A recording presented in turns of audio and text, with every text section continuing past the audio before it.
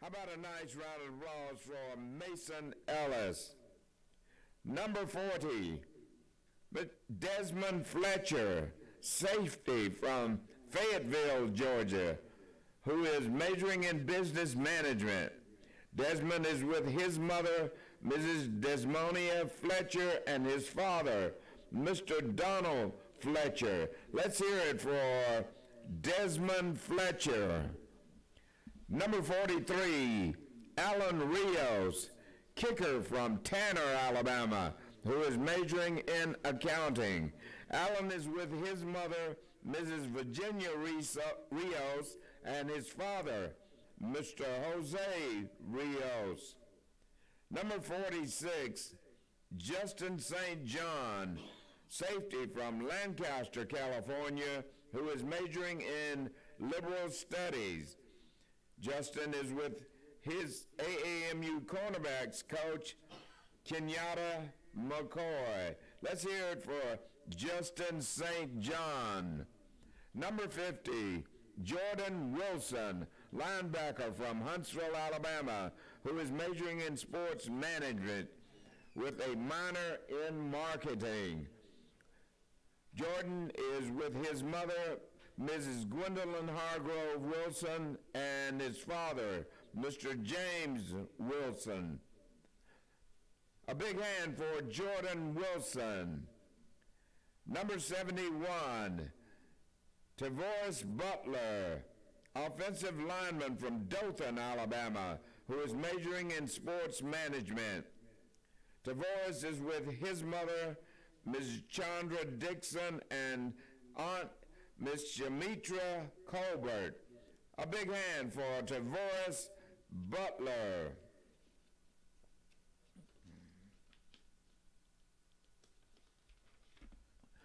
Number 74, Philip Haynes, offensive lineman from Memphis, Tennessee, who is majoring in kinesiology. Philip is with his brother, Everett Curry, and his other brother, Corey Brown. Let's hear it for Philip Haynes. Number 75, Shanye Reams, offensive lineman from Dothan, Alabama, who is majoring in sports management.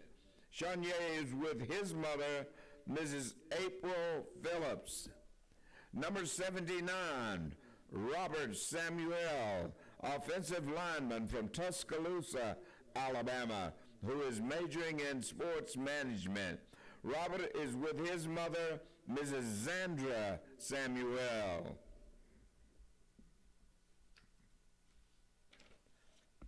Number 93, Elijah Jordan, defensive lineman from Mobile, Alabama, majoring in food science.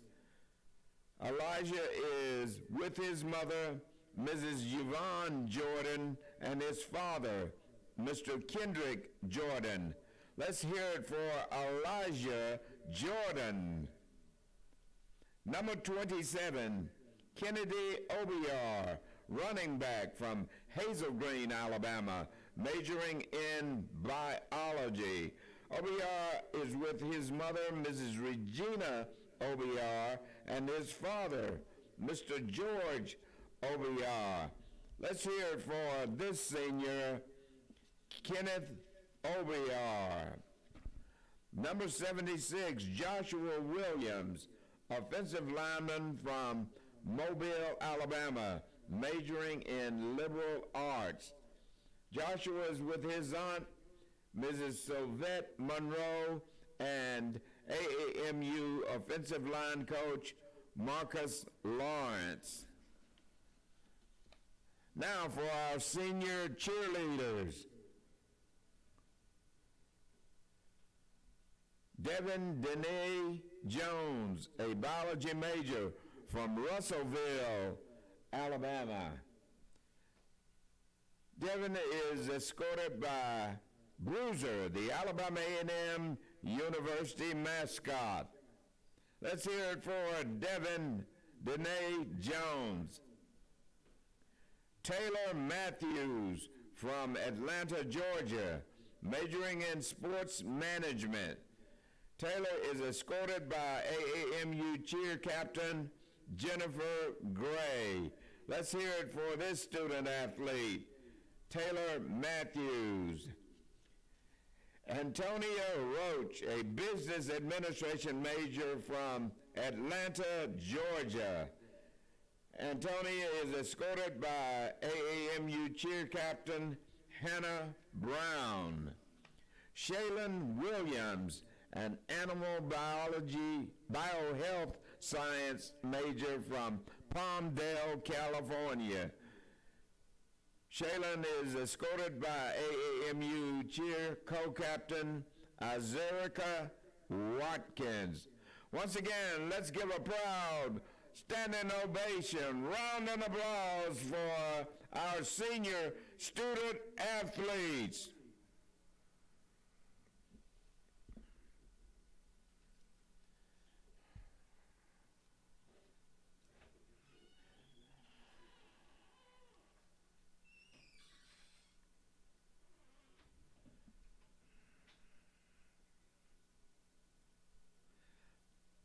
Our student athletes were greeted by Alabama A&M Athletic Director, Mr. Bryan Hicks, and Coach Connell Maynor.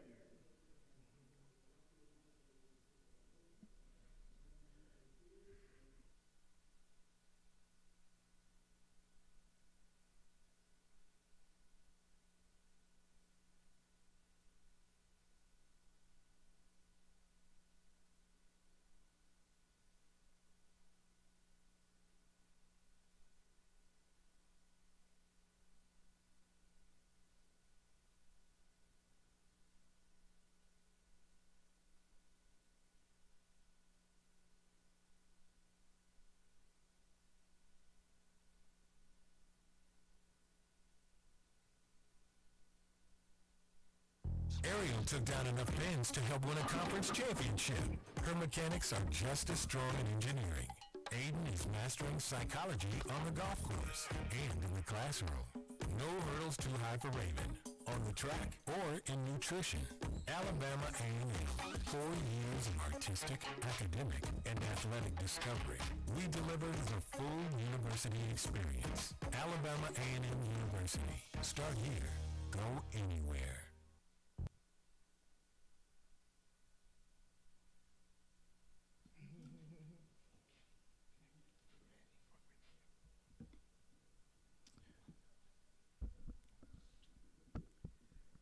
And ladies and gentlemen, we'd ask you to please stand for our invocation. Our invocation today is given by Pastor Troy Garner from the Fellowship of Faith Church.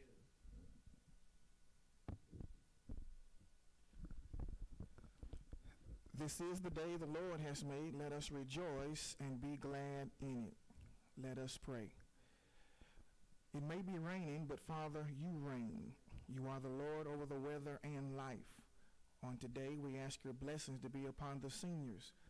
Thank you for their contributions on the field, and we ask that you bless them in their prospective careers and future endeavors. As Psalms 1:3 declares, may they be successful and fruitful. We thank you for the alumni, fans, and sponsors for their stewardship of time and treasure to Alabama A&M.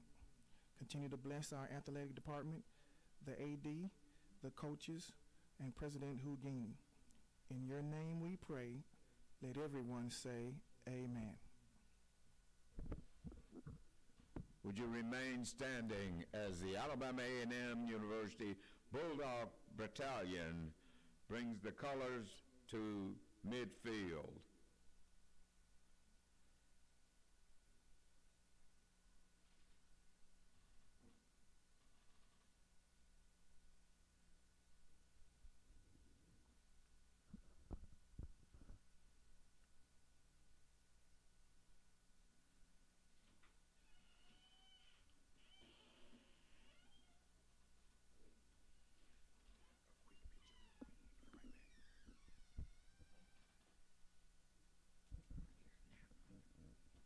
And now, our national anthem, played by the Alabama A&M University Marching Maroon and White under the direction of Mr. Carlton Wright.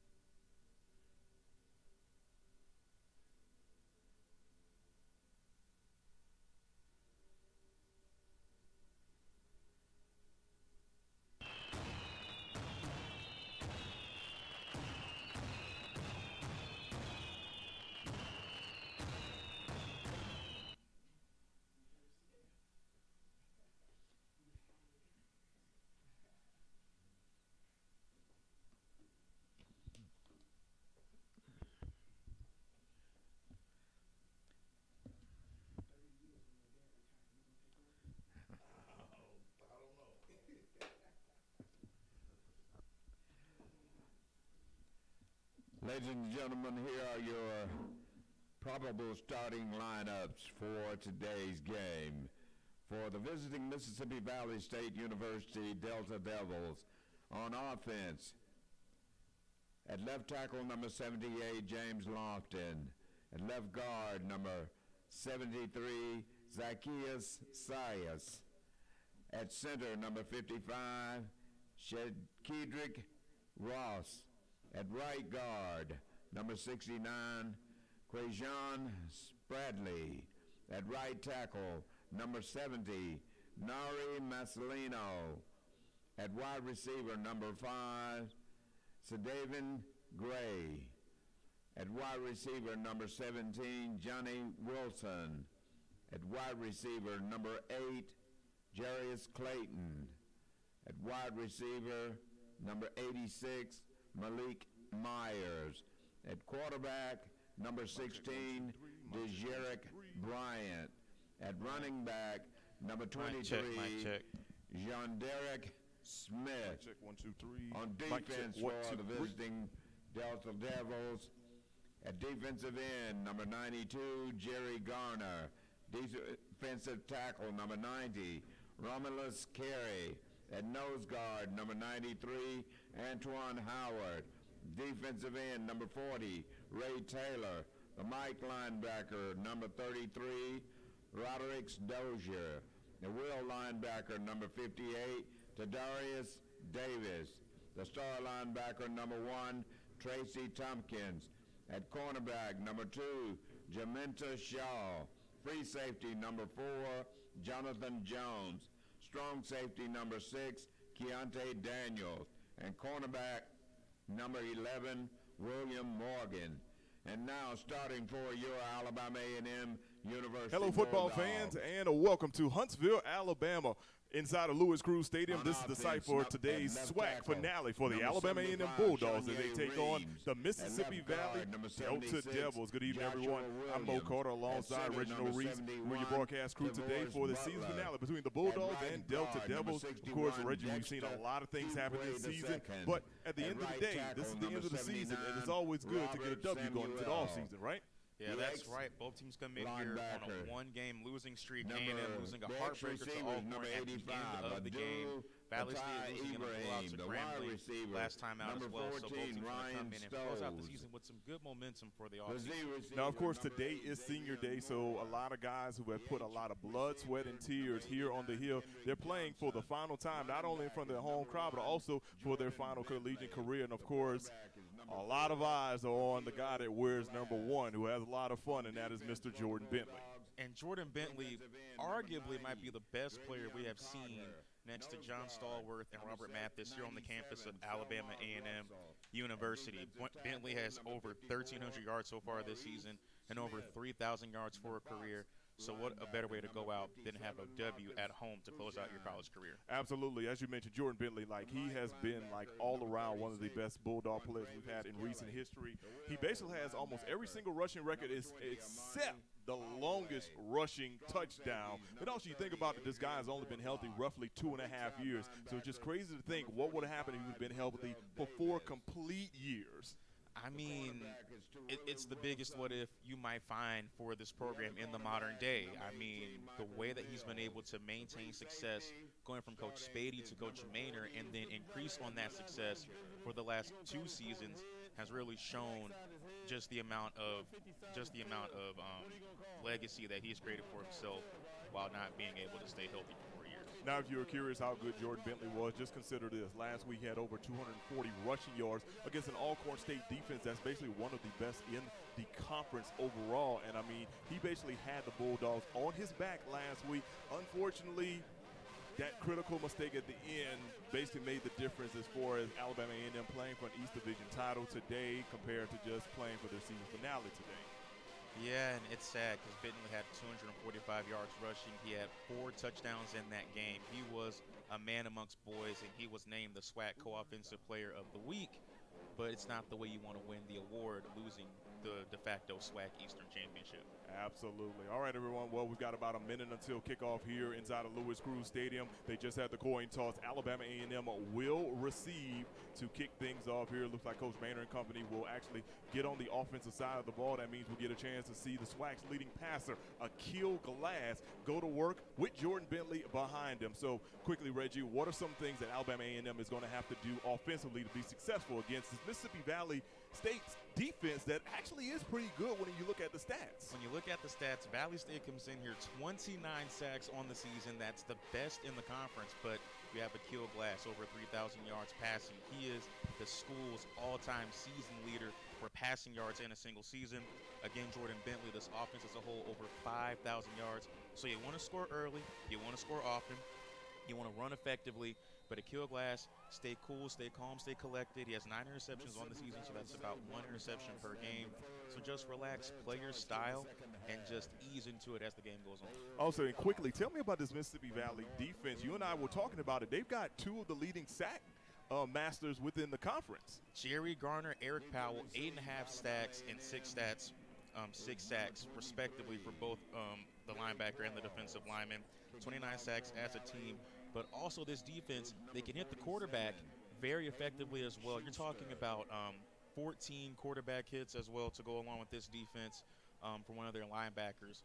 But one factor that will stand out above all else, besides the sacks, the penalties, because they don't give up that many penalty yards per game. All right, here's the kickoff. It is Hayden Schuster kicking it off, and uh, back deep for Alabama A&M was Gary Qualls. However, number 27, Kenneth Obior, one of the backup running backs, takes it in. He gets a few yards, and he's tackled somewhere around the 25-yard line. That's where Alabama A&M will start off first and 10 on their first drive of this game. Now, of course, this is not the only SWAC matchup going on today. Over in Mississippi, you got the battle of I don't exactly know what they call it now. They used to call it the Soul Bowl, but of course it is Al, it is, Jackson State against Alcorn State, and then later on you got Texas Southern taking on Arkansas Pine Bluff. But this one, it's going on right now on the first play. It is that guy, Jordan Bentley, is the 30, the 35, the 40, the 45. He's knocked out near midfield. Jordan Bentley picking up where he left off last week against Alcorn State.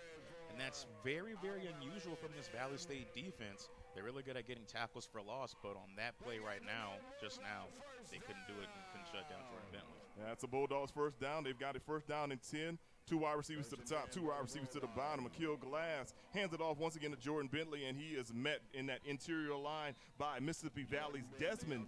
Excuse me. that's for Alabama A&M, number 40 is Ray Taylor, a defensive lineman for the Delta Devils. Doesn't look like he picked up any yardage on that one. Ray Taylor, so far two and a half sacks on the season, but six quarterback hits. So look for him to be a pretty big disruptor to Aqeel Glass. All right, same formation once again. So here we go. Kill Glass steps back to pass and throw the to his tight end, and that is Howard. He'll pick up about six yards on the play. Howard's one of those guys like he's a he's a big body. He can get your hands on it, and he, once he gets the hands on the football, it's hard to bring him down. Well, it's really hard for any defense to find that good matchup to take on big, strong tight ends, and that's why it's been so effective so far this season. All right, so here it is, third down and short. Alabama A&M coming out Kill Glass still in the shotgun. He's got Jordan Bentley right behind him in a pistol formation. They'll hand it off to Bentley, and he is met in the backfield. The Delta Devils were ready for that one, and that is number 58, Tadarius Davis coming through for the big stop for the Delta Devils. And that's his 75th tackle on the season. I mean, he's been one of the best on this team at getting tackles as you can see right there from the stats. And Valley State, it's really surprising. Again, the record, don't let it fool you. They have a really, really stout defense, and that's because of their head coach. Um, that's because of their head coach, Vincent. Um, Vincent.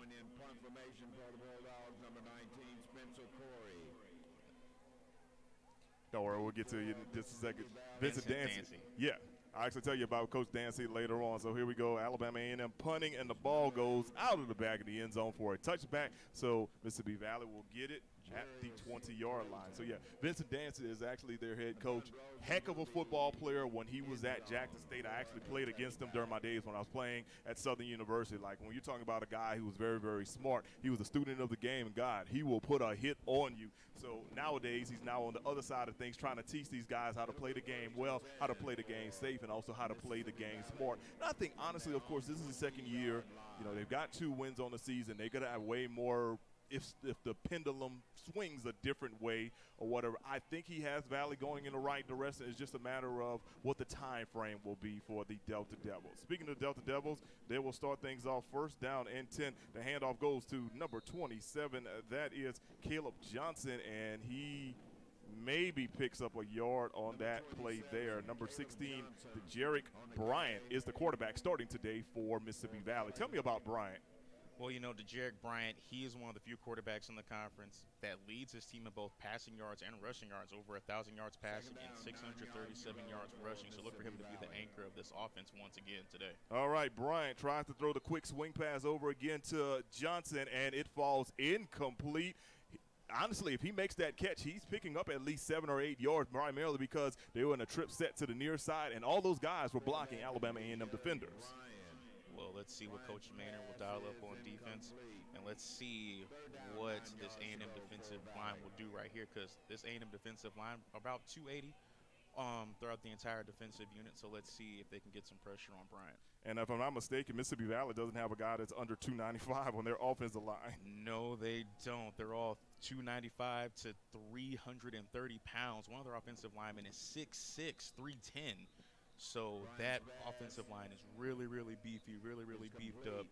There's some big boys down there. Right. The swing pass goes to Jarius Clayton. He picks up about three yards on the play, but the front seven of Alabama A&M defended that very well. Brings up a punting situation coming up for Mississippi Valley. A&M did a really good job of shutting down the play. We'll see what happens here for A&M on offense now. Justin Reed coming on the punt for the Delta Devils. Back deep for Alabama A&M is Odile Hilaire. We've seen him have some flashes of brilliance this year. No big, big plays, but he had a lot of what ifs. So here we go. Hilaire backpedaling. He takes it in around the 35, and he is met by a host of Mississippi Valley defenders led by number – 28 on the play for the tackle, and that is Breland Frank. So this will be the second possession for Alabama A&M. Hopefully they can get something going like they had on the first play of the game because it really seemed like after that first and second play, nothing else worked well. Well, you know, again, it's kind of trying to settle in. You want to score early and often. And Coach Maynor knows how knows how good this Valley State defense is, but he said himself, we're not sure what Valley State team is going to show up, so you got to be able to execute early to avoid the Valley State team that came out and won 35 to 14 a few weeks ago. Aqeel Glass running the option. He pitches it out to Jordan Bentley. Bentley's got five, six yards on the play, and it'll be second and manageable coming up for the Bulldogs. I tell you, when I see Aqeel Glass running the option, I kind of cringe for a second because I know he's not the fastest guy in the world. However, somehow these plays somehow work. We've seen touchdowns come from them as well. I mean, one of those touchdowns on the option came in the Magic City Classic when they beat the Hornets 43 to 41 as well. Absolutely. Aqeel Glass hands it off this time to Jordan Bentley. Look at him dragging defenders. He'll take three guys with him, and he'll pick up a first down near the midfield mark. So Jordan Bentley, of course, continuing to show his strength and his power in his last day as an Alabama A&M football player inside Louis Crews Stadium. We saw he was decked out with fan with the fan base or whatever, you know, mom, dad, fiance, and then had a whole lot of people in the stands cheering from him because he's right down the road from Guntersville. So here we go. First down and 10 trips to the near side. Aqeel Glass stepping back to pass. He's pressured a little bit, steps up. He still gets away, and then he's able to throw it, and he's got his tight end once again. And that is Howard, excuse me, that's Kendrick Johnson coming up with the big catch, and he'll pick up about seven yards on that play. Gives another second down and manageable for Alabama A&M. Aqeel Glass, really good pass right there. 29 touchdowns on the season so far. So despite the one interception per game, he still can get you about two to three touchdowns a game as well. Exactly. Aqeel Glass has by far now become Alabama A&M's most prolific passer, and he's still got another year to play here on the hill, which I know Coach Maynor is loving for sure. So here's Glass once again got running the option, and he is tripped mm. up by one of Mississippi Valley's um, linebackers there. And I'm looking at this young man, and his number is not on the roster, so we'll have to double check on who they actually give that to stats wise. But that'll bring up third down coming up. So third and about five here. So let's see what Coach Maynor and company draw up. They've been moving the ball well, but when he gets to third down, it becomes a different ball game. Gil Glass calling the cadence. He's got two receivers to the top. He's got a tight end in the slot and a single receiver at the bottom, along with Jordan Bentley in the backfield. So here's Glass. Mississippi Valley brings pressure. Glass will throw it down the field, and he's got a man. That's number 85, Abdul Fatai Ibrahim, and he's in the end zone for a touchdown for the Bulldogs. What a one-on-one route. Aqeel Glass stood in the pocket, had the presence, and stood with confidence to deliver a very, very accurate ball. Abdul Fatai Ibrahim, you call this guy's name, and when we do, he usually has big plays behind it. Talk about big plays, man. A couple weeks ago when we were here against Jackson State, we could not call this guy's name enough as he basically was one of the playmakers that made things happen against Jackson State in that victory, and that thrilling victory, as a matter of fact. Well, with that touchdown pass, he's inching that much closer to a 1,000 yards, and that's now 11 touchdowns for Ibrahim. All right, so here's the extra point. It goes up by Spencer Core, and it is good. So with 9.06 to play here in Huntsville, Alabama, your score, the Alabama A&M Bulldogs, 7, the Mississippi Valley Delta Devils, 0. So we got 9.06 left in the first quarter. Reggie, what did you like about that um, for that second drive for Alabama A&M? I mean, simply simply put, easy. You Brederick, you executed very well, did what you had to do. Aqeel Glass played with confidence. I think the option play kind of gave him a sense of, okay, let's get into it, let's ease into it. I got Jordan Bentley going. now. I can get the play action pass working a little bit found Ibrahim one-on-one. Easy touchdown. Now, of course, Alabama A&M, when you look at their passing stats, of course, the passing kind of outweighs the rushing attack. But then when you look at a drive like that, they did a good job mixing and matching the passing attack and the rushing attack. I mean, Jordan Bentley gets some good runs. They run the option, and all of a sudden, here comes Glass hitting Fatai Ibrahim uh, over the top for a touchdown. So I think right there, that kind of shows you that Alabama A&M wants to keep Mississippi Valley on their toes. Well, do you think come next season with the departure of Jordan Bentley, are we going to go to just an air it out attack, you know, just air A&M next season? I think they're probably going to try to still remain balanced per se, and the reason why I say that is because you still do have a young running back core coming behind Jordan Bentley. Now, nobody is the next Jordan Bentley. Coach Maynor will tell you that from top to bottom, but at the same time, if you can kind of get the essence of what everything can be – then all of a sudden you still got some good things going. And of course, um, you know, I can't really get too much into this because it's kind of like coach speak, but of course they're still looking at a recruiting aspect of certain things. And who knows, you know, maybe in recruiting things they you pick up transfers, possibly. Yep. You may look for somebody that may have a similar skill set, but there are at least two running backs on the team that have a skill set, and they're actually the same size as Jordan Bentley. So maybe once they get it, that could kind of be enterprising as well. But the best thing about Aqeel Glass coming back next year is that he's got a plethora of playmakers on both. I mean, in both the running back aspect and the wide receivers and the tight end. So I think next year when he comes back, he'll still be able to you know swing the ball out, but then try to build up a rushing attack as well. So here we go, Mississippi Valley now on their second drive. Here comes the speed sweep to number eight, and that is Jarius Clayton. He takes it around the left side, picks up maybe about two yards on the play. Three Bulldogs in on the tackle for Alabama A&M. Well, you know, when you look at the head coach, Vincent Dancy, I mean, 17th head coach in Valley State history, trying to build up a really, really good program.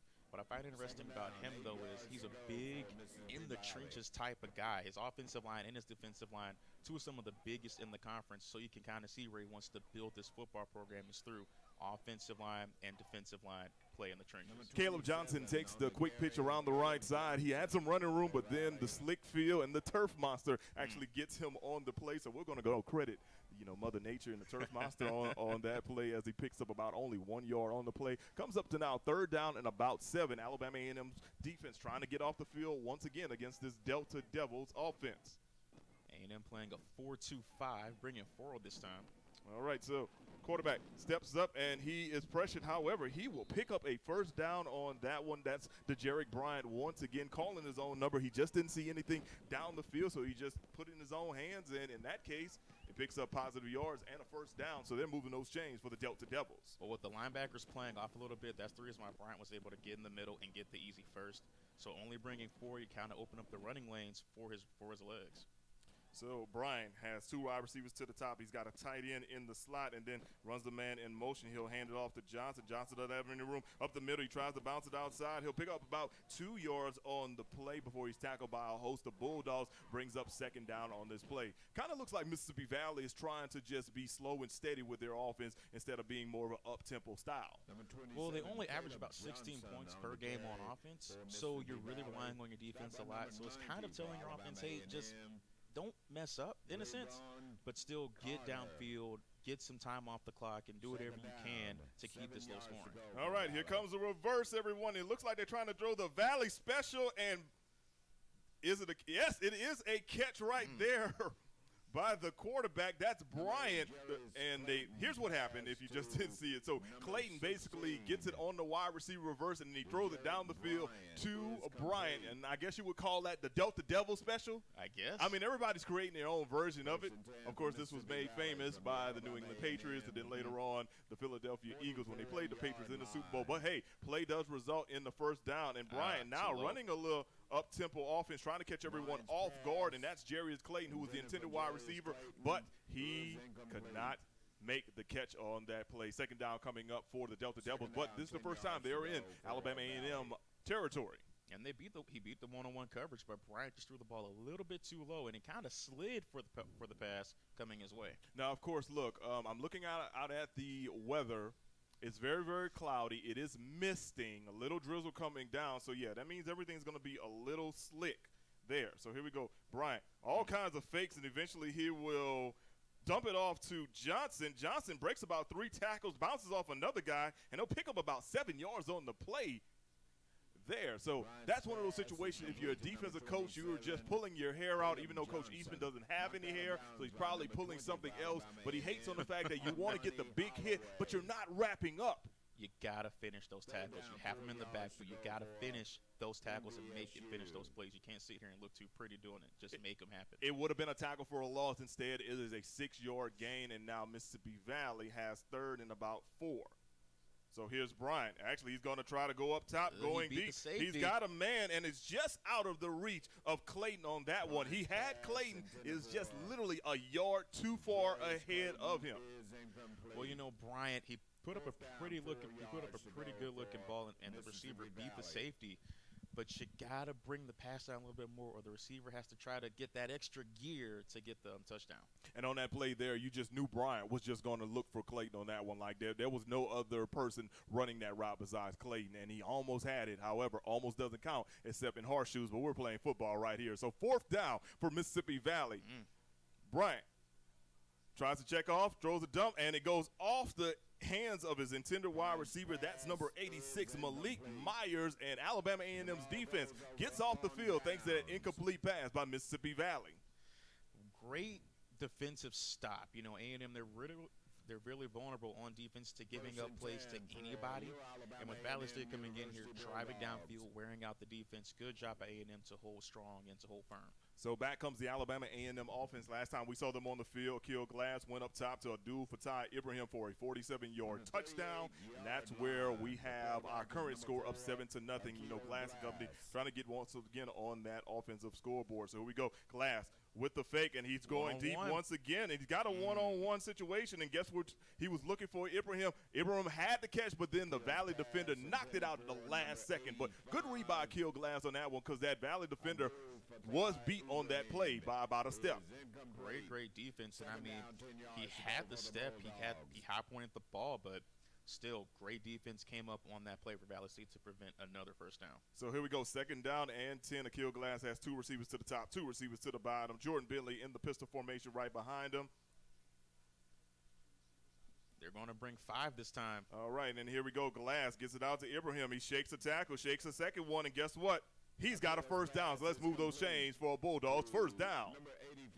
Well, A&M, I think they're going to try to incorporate Bentley a little bit more in the passing attack this time because what makes him so great is that if you run a lot with you, if you run a lot with him, play action pass. If you open up the pass with him, go back to the run, and he can't get you out the backfield. He has a few touchdowns from the passing game. It's crazy to think that he was a walk on and now he is a starter and one of the leading wide receivers when it comes to yardage per game in the entire SWAC. Speaking of leaders in the SWAC, Jordan Bentley takes the handoff right here. However, he does not pick up any yards. The Delta Devils defensive line was waiting for him on that one. I mean, it's really, really rare to see him, you know, come up short on a running play like that. But Jordan Bentley, when you talk about him, you can't say enough about him. Once again, arguably one of the three best players in the history of this school with the way that he's played and performed in the four years that he's been here. And you know, it's crazy. Some people will probably argue that or whatever, but when you look at what he's done in the amount of time he's been here, it the argument definitely has worth on it. Actually, on that play, Bentley lost a yard, so it'll be second down and 11. Kill Glass now has an empty backfield, three receivers to the bottom, two to the top. Glass got to get it off quick because Valley's coming with pressure. Oh no, he throws mm. an interception. It's picked off by number 21 of Mississippi Valley. That is Andrew Bloodsalt Jr. I mean, he just read the play perfectly, like a kill glad. He jumped the route. He, he definitely Yeah. did jump the route. It looks like the A&M receiver was supposed to throw a quick slant, and apparently either he tried to break off of it or, yeah, I'm looking back at the replay. Basically, yeah, he, he jumped the route and was able to pick it off right then and there. Great play by the defensive back for Mississippi Valley. So now they've got the ball first down and 10 on their own 45-yard line. Looking to make a momentum swing, so let's see what Bryant and company will do coming out on the offensive side of the ball. So, Bryant, Fakes the pitch. Absolutely. Now he's trying to roll out, and he's got a man, and Fumble. fumble on the play. However, number five, that is Devin Gray, recovers the ball on that one, but he took a huge hit from Holloway mm. on that one before he's actually able to recover the ball. Like it it was a nice legal hit Yeah. that probably like probably rung his bell for a second, and once he hit the ground, he realized, oh man, I don't have the ball, but somehow he got the ball back. It was on. It was on that threshold. It was on that fine line of a legal hit and a good hit. All right, Johnson takes the handoff right here. He'll pick up about four yards to bring up about second down and six for Mississippi Valley. Valley now getting close to the red zone, so you got to think that Coach Granville Eastman will be trying to draw up some other special defensive front defensive plays. Looks like Bam A&M is rolling with four defensive linemen, and uh, Johnson once again hand gets the handoff, and he'll break a tackle, and he'll pick up a first down. You saw A&M's defense kind of playing back. May have expected another, you know, pass from the Jared Bryant to catch them off guard, but they prepared for the wrong type of play, and Valley State was back at it with a run by Caleb Johnson. Absolutely. So here we go. First down and 10. Ala- Alabama A&M's defense trying to hold Mississippi Valley from out of the red zone first and foremost. A quick screen pass goes over to number five. That is so Devin Gray once again, the guy who just recovered his own fumble. He doesn't pick up much on that one as the defender for Alabama A&M read that perfectly. A, get, a great stop by A&M on defense. Let's see what Valley State will come up with this time. They might do a maybe a quarterback option. Could it could be if um if Brian does see something, you know that's got to be something that you have to consider as well. And They guess what? it. They do. Brian bounces outside. He's at the 15, the 10, the 5, stretches for the pylon. I think he's knocked out prior to They going will. in. They look like they're going to mark him around the three yard line. So yeah, Reggie, you definitely did call it on that one. I'm not a fortune teller. so I'm not a fortune teller. But with the way you can run the football, I mean, you got to use your quarterback's legs whenever you can. So here we go, Brian. Once again, calling his own number, and this time he finds pay dirt touchdown, Mississippi Valley. The Jarek Bryant calling his own number, and he's into the end zone. Interesting fact about Bryant, he's actually top 10 in the conference in rushing yards, which is it's crazy. It's mind blowing. But they don't run that type of option offense either. Apparently, Coach Dancy must have saw something at some point in time during this um, season and probably told his offensive coordinator, like, hey, maybe we need to run our quarterback just a little bit more. And one thing we've noticed with Alabama A&M's defense, they have kind of struggled against rushing quarterbacks. I mean, we saw that happen against Jackson State a couple of weeks ago when they took on Southern. Skelton had almost 400 yards of total offense against them. Um, so, I mean, we, we have seen that happen early. I mean, throughout the season. Bluff. Yeah, Pine Bluff had two quarterbacks who Yeah. were who were doing that, and then I can even go back as early as to Morehouse. Morehouse played a two quarterback system in which both guys knew really how to run the read option on that. So, all right, everyone, with 2:18 to go in the first quarter, your score: Alabama A&M seven, Mississippi Valley State seven. We're going to take a quick break here on the Bulldog Sports Network. Stay with us. We'll be right back. University Regions Visa check card and show your team spirit all year long because greatness is in the grind.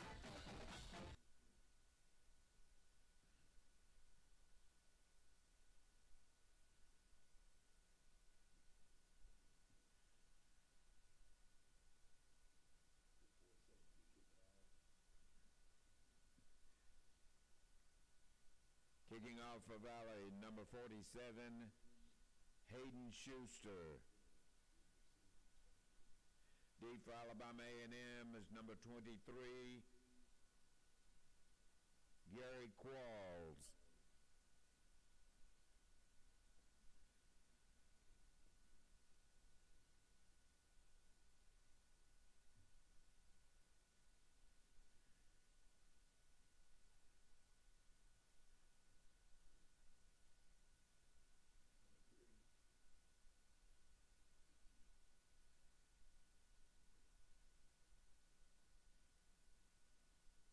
Number 23, Gary Qualls on the return for Alabama A&M. First and 10 for the Bulldogs from their own 35.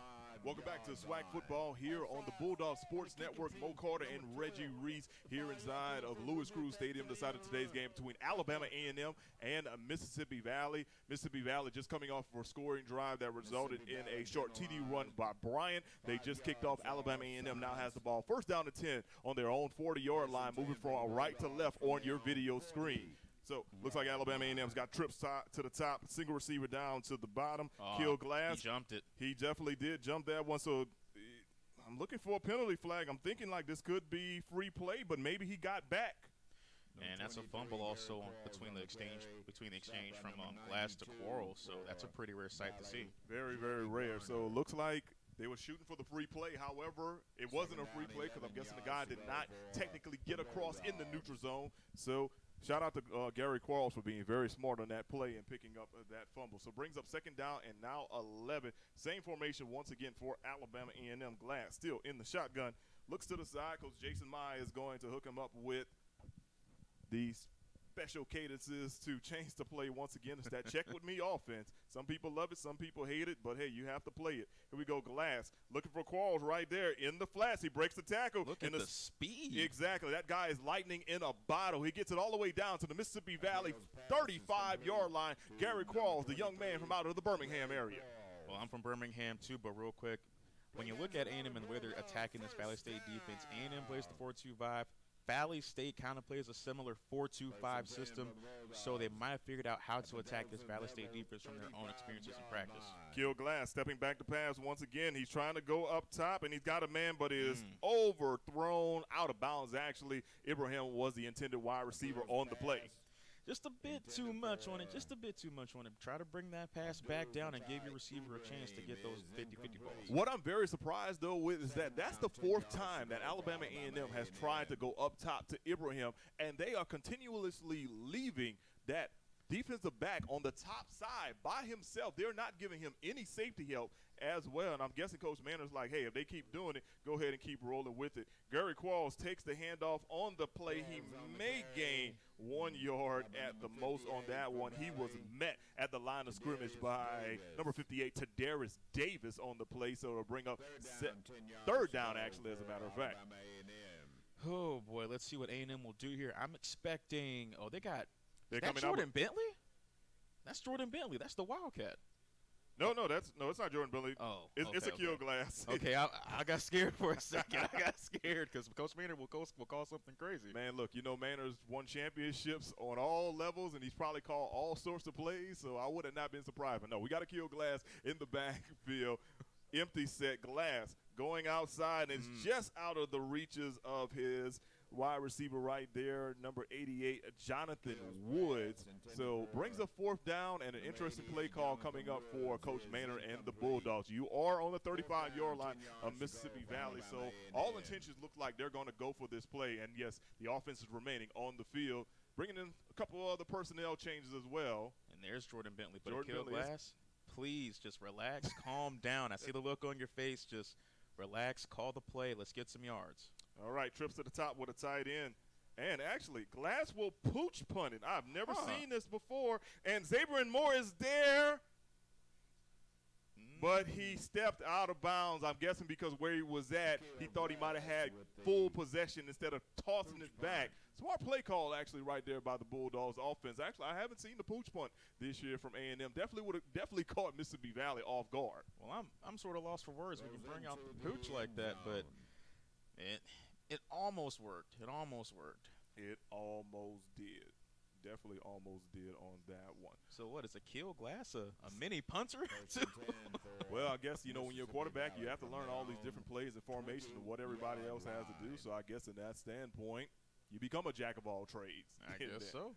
Now, of course, I don't you know foresee him being like the next Ray Guy or you know or um, Stick or the Reg- quarterback. Exactly, or Reggie Roby or somebody. So this should be the final play of the first quarter. The handoff goes to number 20, Dwayne Bennett. He is met in the backfield by a host of Alabama A&M Bulldogs, which is led by number 48, Desmond Jennings. And that'll be the end of the first quarter. Your score, Alabama A&M 7, the Mississippi Valley Delta Devils 7. We will take a break and return right here on the Bulldog Sports Network with SWAC football. Score, your Alabama A&M University Bulldogs 7, the visiting Mississippi Valley State University Delta Devils 7.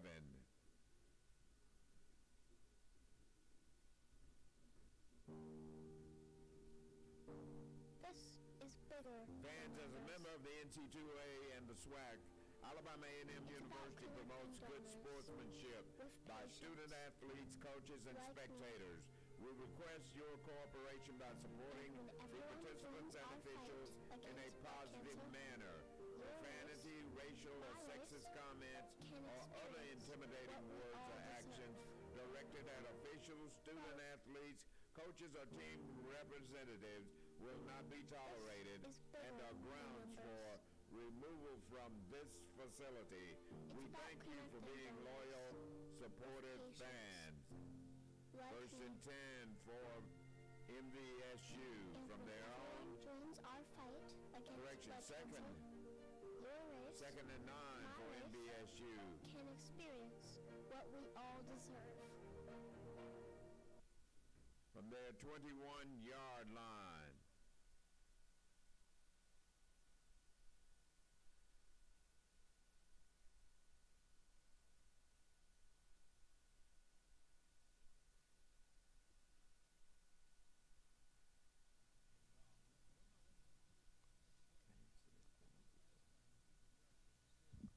Welcome back to SWAC Football on the Bulldog Broadcasting Network. Mo Carter and Reggie Reese here inside of Louis Crews Stadium, the side of today's game between Alabama A&M and Mississippi Valley State. We just kicked off things in the second quarter.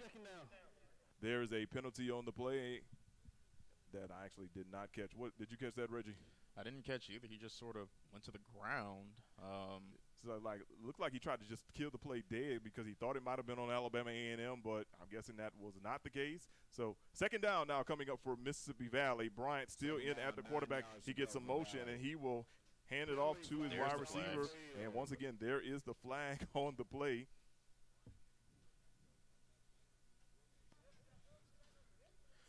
oh boy, False start. you don't want those. That's what you don't want. One of the more disciplined teams in the entire conference. A very rare sighting to see to get a flag called against Valley State. Shaquedrick Ross was the guy that is the guilty party on that play. So Mississippi Valley going backwards. Real quick about this Valley State offensive line. That's almost two tons from everyone, everyone for that offensive line unit for Valley State. So I see why Derek Bryant has so many yards on the ground. Absolutely. Speaking of Brian, he tries to go with the wide receiver screen. He gets it out to his man. However, he is tackled quickly on the play. Not too many yards actually picked up on the play by number 80. Is that 88? 86, as a matter of fact. That is Malik Myers. So third down coming up for the Mississippi Valley Delta Devils. Coach Dancy and company trying to draw something up and trying to take momentum in this game. So the handoff will go to the running back. They, they decide to stick with the rushing attack of uh, Barnett, and he will not pick up first down yardage on that one. It'll bring up a punting situation for Mississippi Valley. So it looks like this drive in general just was going backwards and eventually moved forward like two yards. Then there was a penalty.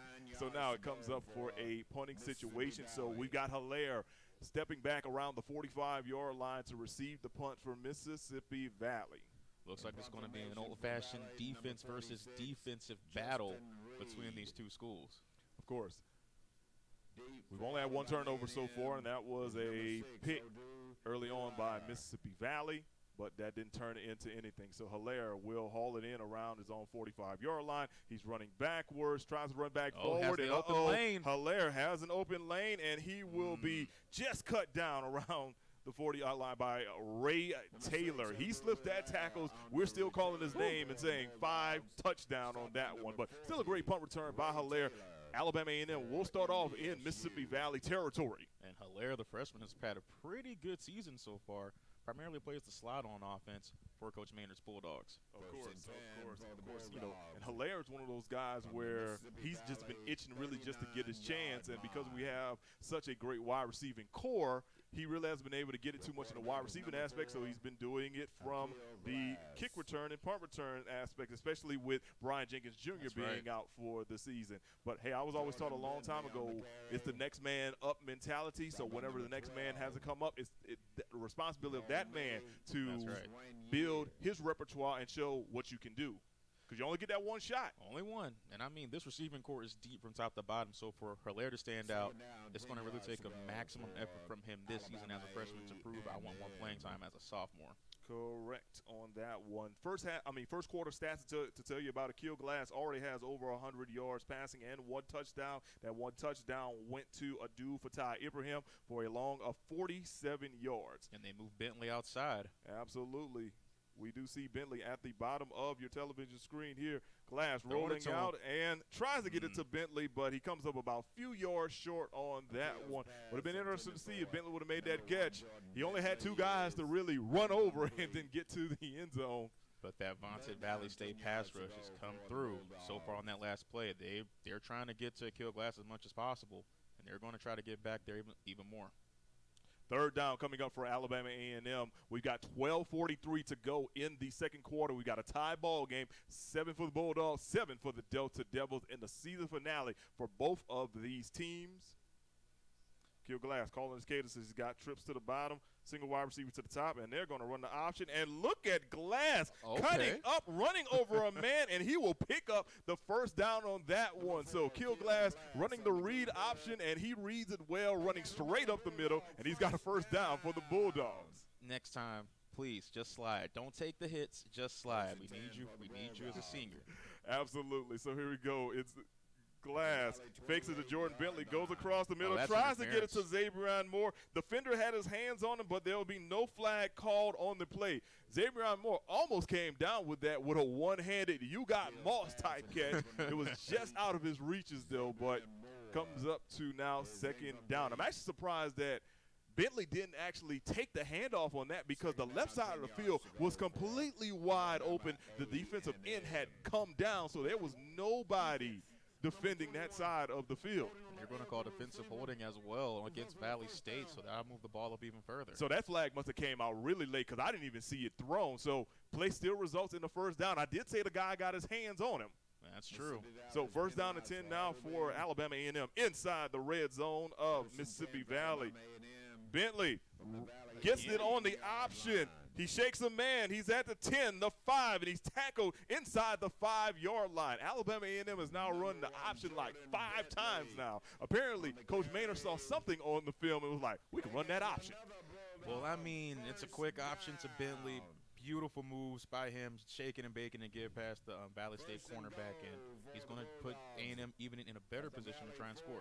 First and goal coming up for Alabama A&M. They are knocking on the door. We see the big heavy set coming in for Alabama A&M. Look to have what two, three tight ends, a fullback. It it's a lot of big guys Bringing the heavy package. in there. I mean, so here we go. We got to think that the ball's going to go to Jordan Bentley. He does. He follows his blocks, and Bentley is in for a touchdown, his first of the day.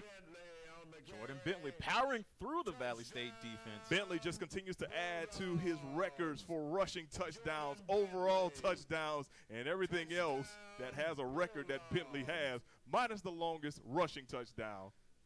Which, who knows, maybe he might be able to bust out a 90 yard touchdown. W- We'll see. But for right now, Jordan Bentley credited with the touchdown right there from four yards out. Alabama A&M regains the lead. It is now 13 to 7. We're waiting for Spencer Corey to put up an extra point. Here comes the extra point. The kick is down. It goes up, and it is good. So with 11:36 to go in the second quarter, your new score: Alabama A&M 14, Mississippi Valley's Delta Devils 7. We'll take a quick time out here on the Bulldog Sports Network. You're watching SWAC football. Bulldogs 14, the visiting Mississippi Delta Devils 7.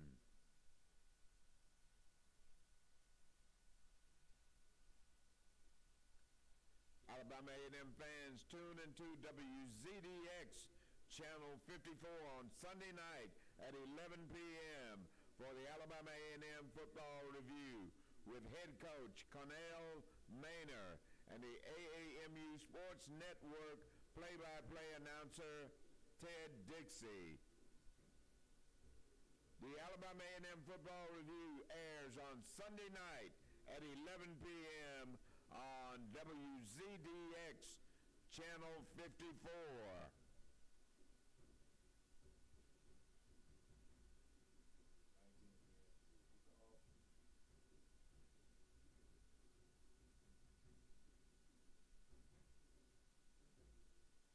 Kicking off Alabama A&M is number 19, Spencer Corey.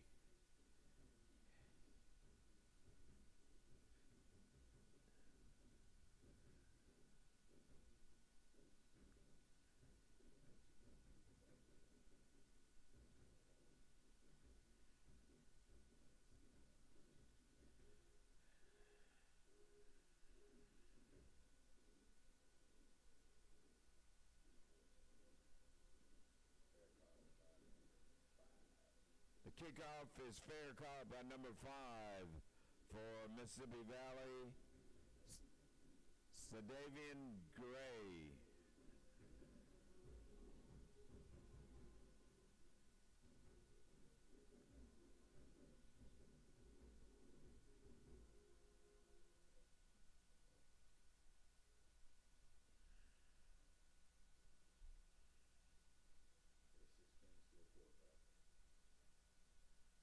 First and 10 for Valley from their own 25-yard line.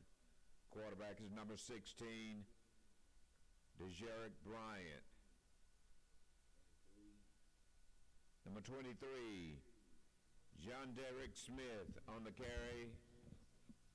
Stop by number 48 for Alabama A&M. Welcome back to SWAC football here in Huntsville, Alabama. Mo Carter and Reggie Reese here inside of Louis Crews Stadium, designed for today's game between Alabama A&M and Mississippi Valley.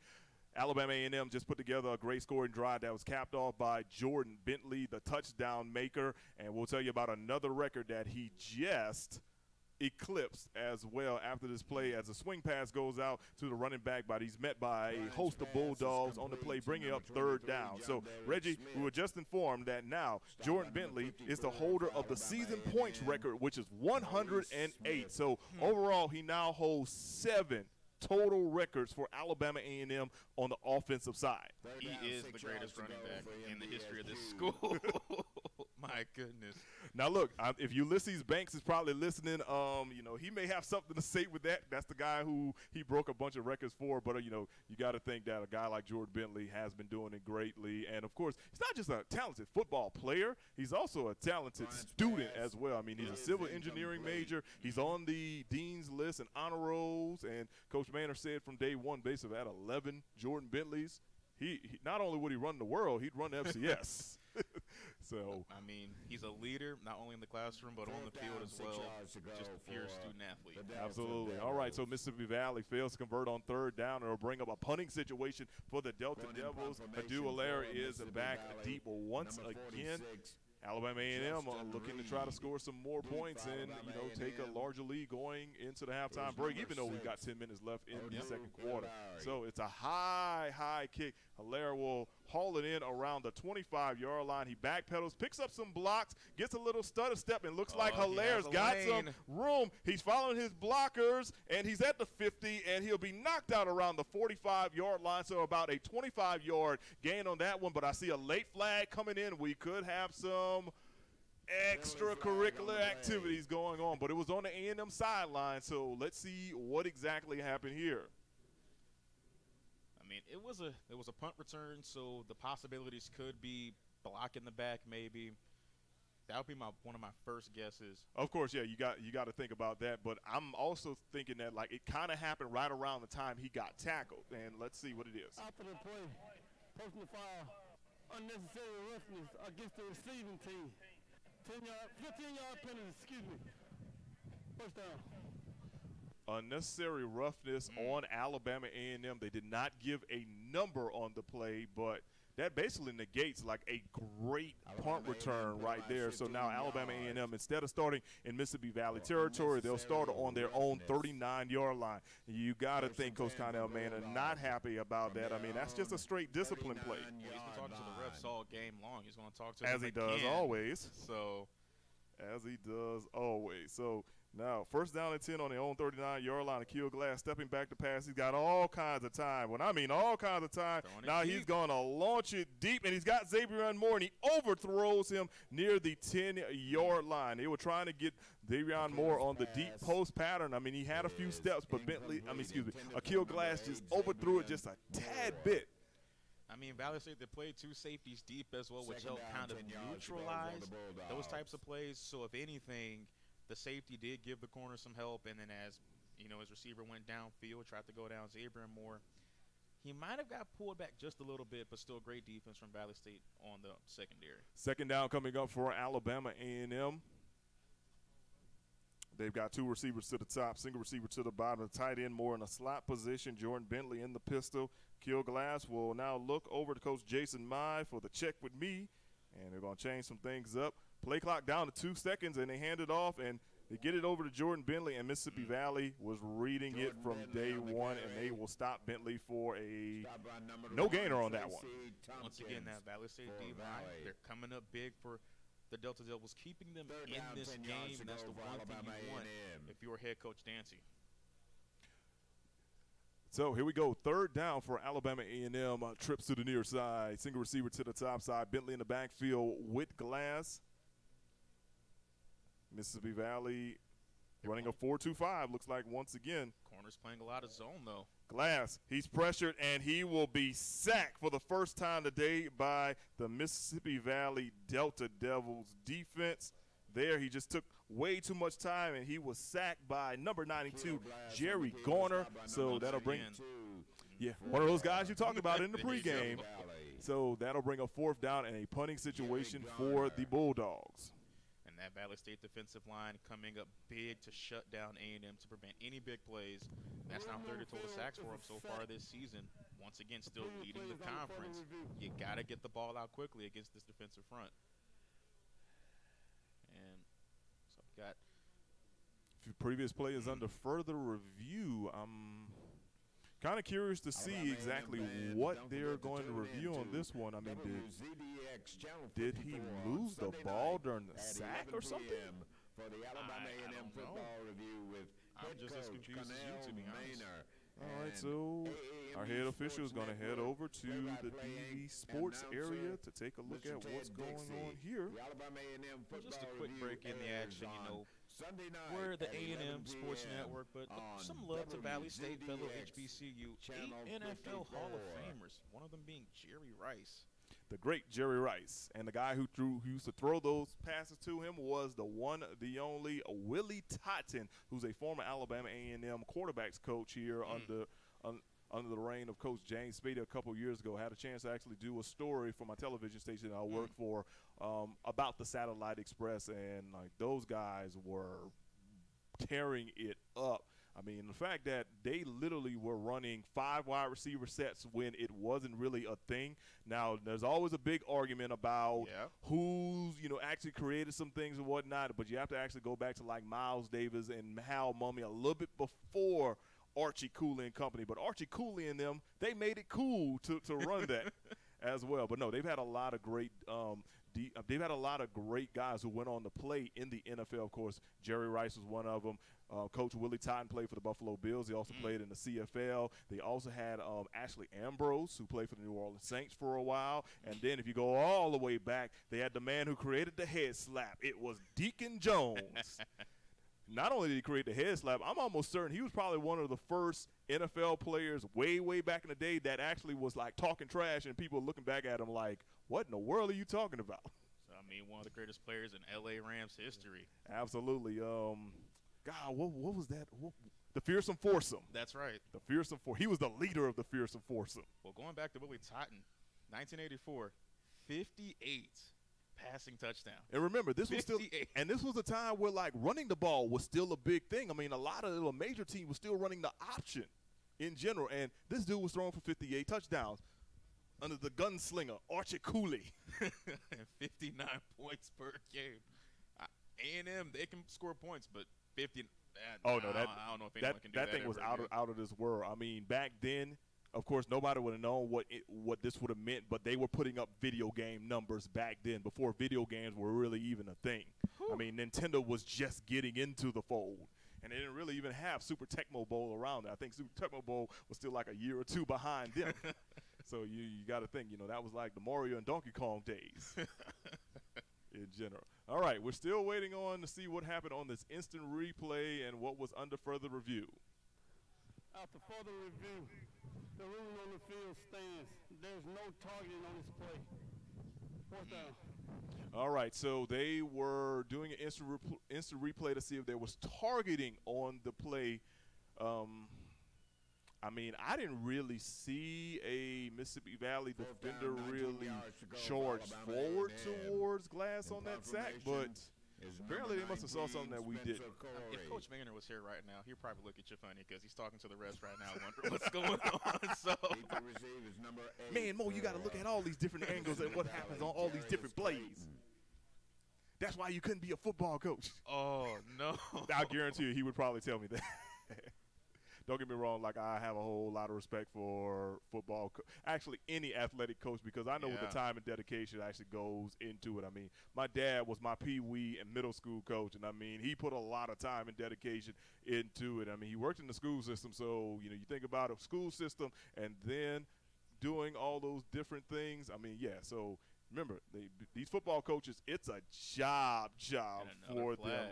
Flag. Exactly. As on the punt return, that is Jarius Clayton, and a late flag does come in. So let's see what's going on uh, with this. But great punt there by number 19, Spencer Corey. He did put him back way deep, but there's a penalty flag. Let's see what's coming up. well, my dad, he was also my coach back when I was a kid as well, so I understand entirely too. Absolutely, man. Absolutely, especially when you work your eight to five, and then you come and then you Ooh. coach, and, Mm. and then got to put food on the table. Man, it's a lot. It definitely is a lot. Scouting. No you foul on the. Mm. Right. Mm. The block occurred from the side. Looks like there is no penalty on the play. Apparently, they thought it might have been a block in the back, but the block was actually on the side. So, with that being said, Mississippi Valley will take over first down to 10 on their own 29 yard line. Well, let's see if the Jarek Bryant can carry this offense one more time. Let's see what Valley State will call this time. They've ran a couple option plays for him alone to run behind his offensive lineman. Will they do the same thing here, running shotgun? We shall see Bryant in the backfield, and he will call his hmm. own number on that one, but he is wrapped Yes. up by number 20, Armani Holloway. Number 16. Holloway leading his team in tackles, keeper. and that's what you got to do. Wrap 20, up. Don't do the flashy hits. Just wrap them up and bring them to the Armani. ground. Exactly, because a flashy hit, somebody can absorb that, bounce off, and then hit the sidelines. I've seen that happen way too many times in my lifetime. Oh boy. way too many times. The play did result for about one yard, so second down and nine coming up for Alabama A&M. Bryant still in the backfield. He's got trips to the top with a slot man, single back in the in the backfield, and a single wide receiver at the bottom. So Bryant calling his cadences, stepping back to pass, and he will be pressured. Looks like he's just going to run and call his own number, and he may pick up about two yards on the play before being tackled by Drayvon Carter on the play. Brings up third down now for Mississippi Valley. Well, I mean, he, he kind of had to scramble there because the A&M pass rush was coming really, really quickly, especially from his blind side. So to just get upfield and get those yards, good awareness by him. Third down coming up for Mississippi Valley. We've got 7:20 to go in the first half. Bulldogs up 14 to seven over the Delta Devils in the SWAC finale for both schools on a gloomy, rainy day here in. Oh, Oh, Bryant almost intercepted by Alabama A&M on the play. That's one of those plays where if it hits you in the hands, you should be able to pick it up. And unfortunately, that was not the case for A&M's defender on that one. Jonathan Struggs, you had it in your hands. You got to bring that down. That's a pick six. It is a pick six. There is nobody in front of him. All he had was space and opportunity in front of him for a perfect opportunity. Now, the next perfect opportunity is a punting situation for Mississippi Valley, and A&M will get the ball back once again. Yeah, so you got to think Jonathan's probably going to get an earful from Coach Shelley That's right. and Coach Eastman on that one. A&M bringing a little pressure, but they are able to get the ball off. Adu Hilaire is slips one tackle. He's at the 45. He'll get knocked out around the 50-yard line, and this time there's no penalty flag on the punt return. Good. Uh, please. You got to get those yards. You got to avoid putting yourself in holes that you can't dig yourself out of. Absolutely, and of course, it's um, coaches used to tell me this all the time. There's always, you know, penalties basically, or penalties that go against yourself that you shouldn't do. Self-inflicted wounds. That's right. That's exactly what they are. Self-inflicted wounds of the football game. Luckily, that wasn't the case there. So we got first down to 10 uh, near the midfield stripe for Aqeel Glass and the Alabama A&M offense. He's got double twins to the top and to the bottom, and he's got Jordan Bentley in the backfield. He the play fake to Bentley. He throws it out, and the pass is caught by one of his tight ends on the play. That is Anthony Howard. Howard comes up with a first down on that one. He's not the most agile guy in the world, but when he's got the ball in open space, it'll be hard to tackle him, as you saw right there. And that's another A&M first down. Absolutely. Let's move those chains as we hear Mr. McIntosh in the background with that first down. so here we go on the play. Jordan Bentley cutting across the middle, running over two people before he picks up what appears to be another first down, and that's what it is. So you hear Mr. McIntosh again with the first down in the background. Great hole opened up by the A&M offensive line. Great hole to lead Jordan Bentley to get the first down. Alabama A&M running the tempo, and Coach Dancy says, "I've got to call a timeout." So we're going to take a timeout with them with 6:20 to go in the half. Alabama A&M leads 14 to seven. You're listening to SWAC Football here on the Bulldog Sports Network.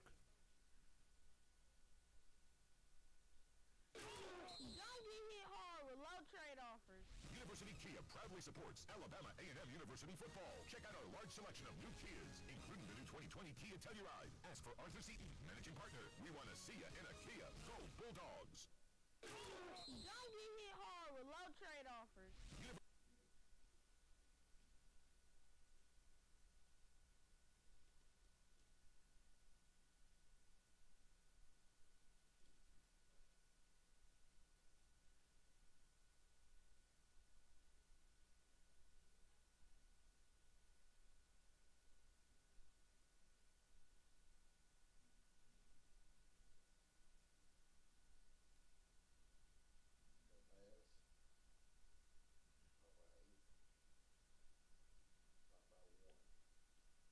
Aqeel's pass is complete to number eight, Xavier Moore.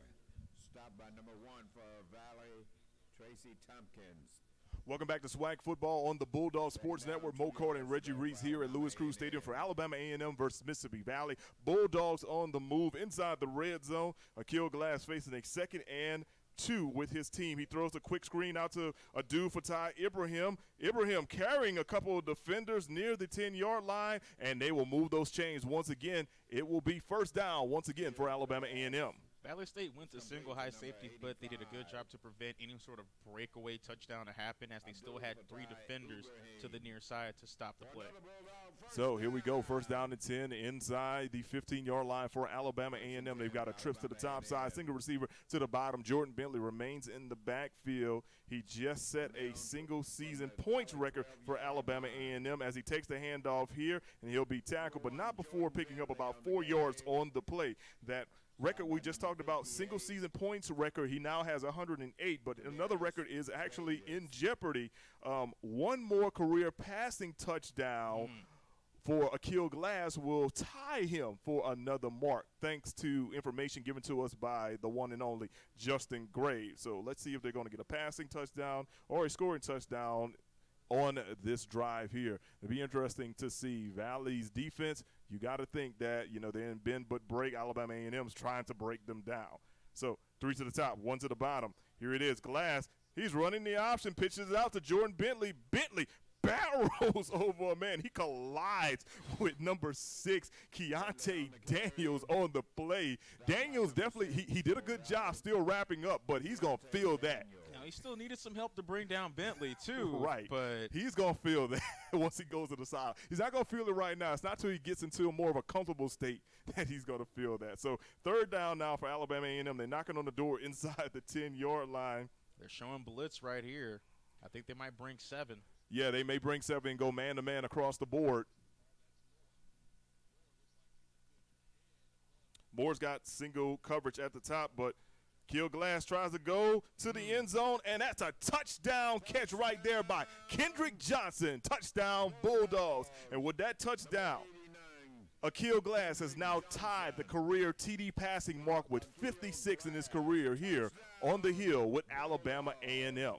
That's called a dime right there. Aqeel Glass, great placement. Almost, almost picked off, but the perfect pass beats the perfect defense. And you called it that they were probably going to go man to man. So Aqeel was looking for the mismatch on that one. So when you have a big tight end that's about six three going up against a DB that can't be more than six foot, I'll, I'll take my chances on that tight end every single day. It's almost like you know putting a Gronk or a Jimmy Graham out, flexing him out as the Yeah. single wide receiver, and that's exactly what happened on that play. So with 3:51 to go in the third quarter, our new score is Alabama A&M 21, Mississippi Valley 7. We will take a short break here with SWAC football on the Bulldog Sports Network.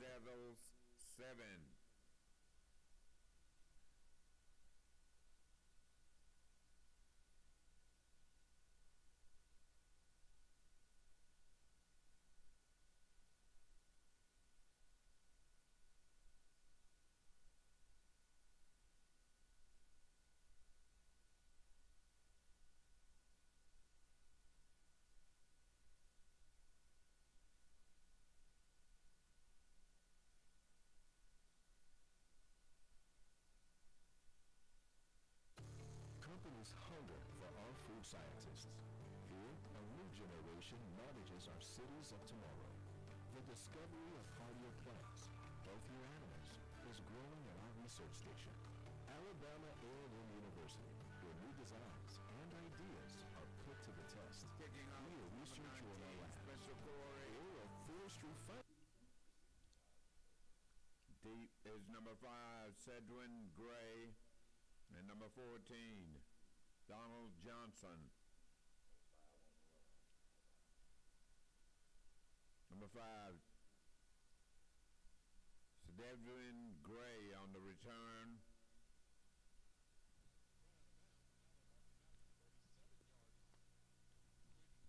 Welcome back to SWAC football on the Bulldog Sports Network. Mo Carter and Reggie Reese here in Huntsville for today's Alabama A&M Bulldogs versus the Mississippi Valley Delta Devils football game in the SWAC finale. Alabama A&M uh, just had a scoring drive which resulted in a touchdown pass by Aqeel Glass. And with that pass, he now is tied for the career mark for all-time touchdown passes, and he ties a pretty good one in Kelsey Luke. He kept for anyone that does not remember Kelsey Luke, he played in the mid 2000s. I actually played against this guy, big, strong quarterback, actually similar size to what Aqeel Glass was as far as prototype and just playing style and whatnot. He might have been a little bit more agile than. Um, than Glass. However, he is also the last Bulldogs quarterback to lead Alabama A&M to a SWAC championship. Okay. So, but yeah, big strong guy as well. So, Aqeel Glass is now tied for career touchdown passes with the one and only Kelsey Luke. All right, Mississippi Valley running an end I mean, running a running a play around the left side. However, they're going to be backed up because there was a holding penalty call on that one. And you don't want to see that. You're already down three touchdowns to begin with. You can't let the penalties. Two touchdowns. I mean, sorry, two touchdowns to begin. I see 21, so I think three touchdowns. You're already down two touchdowns to begin with.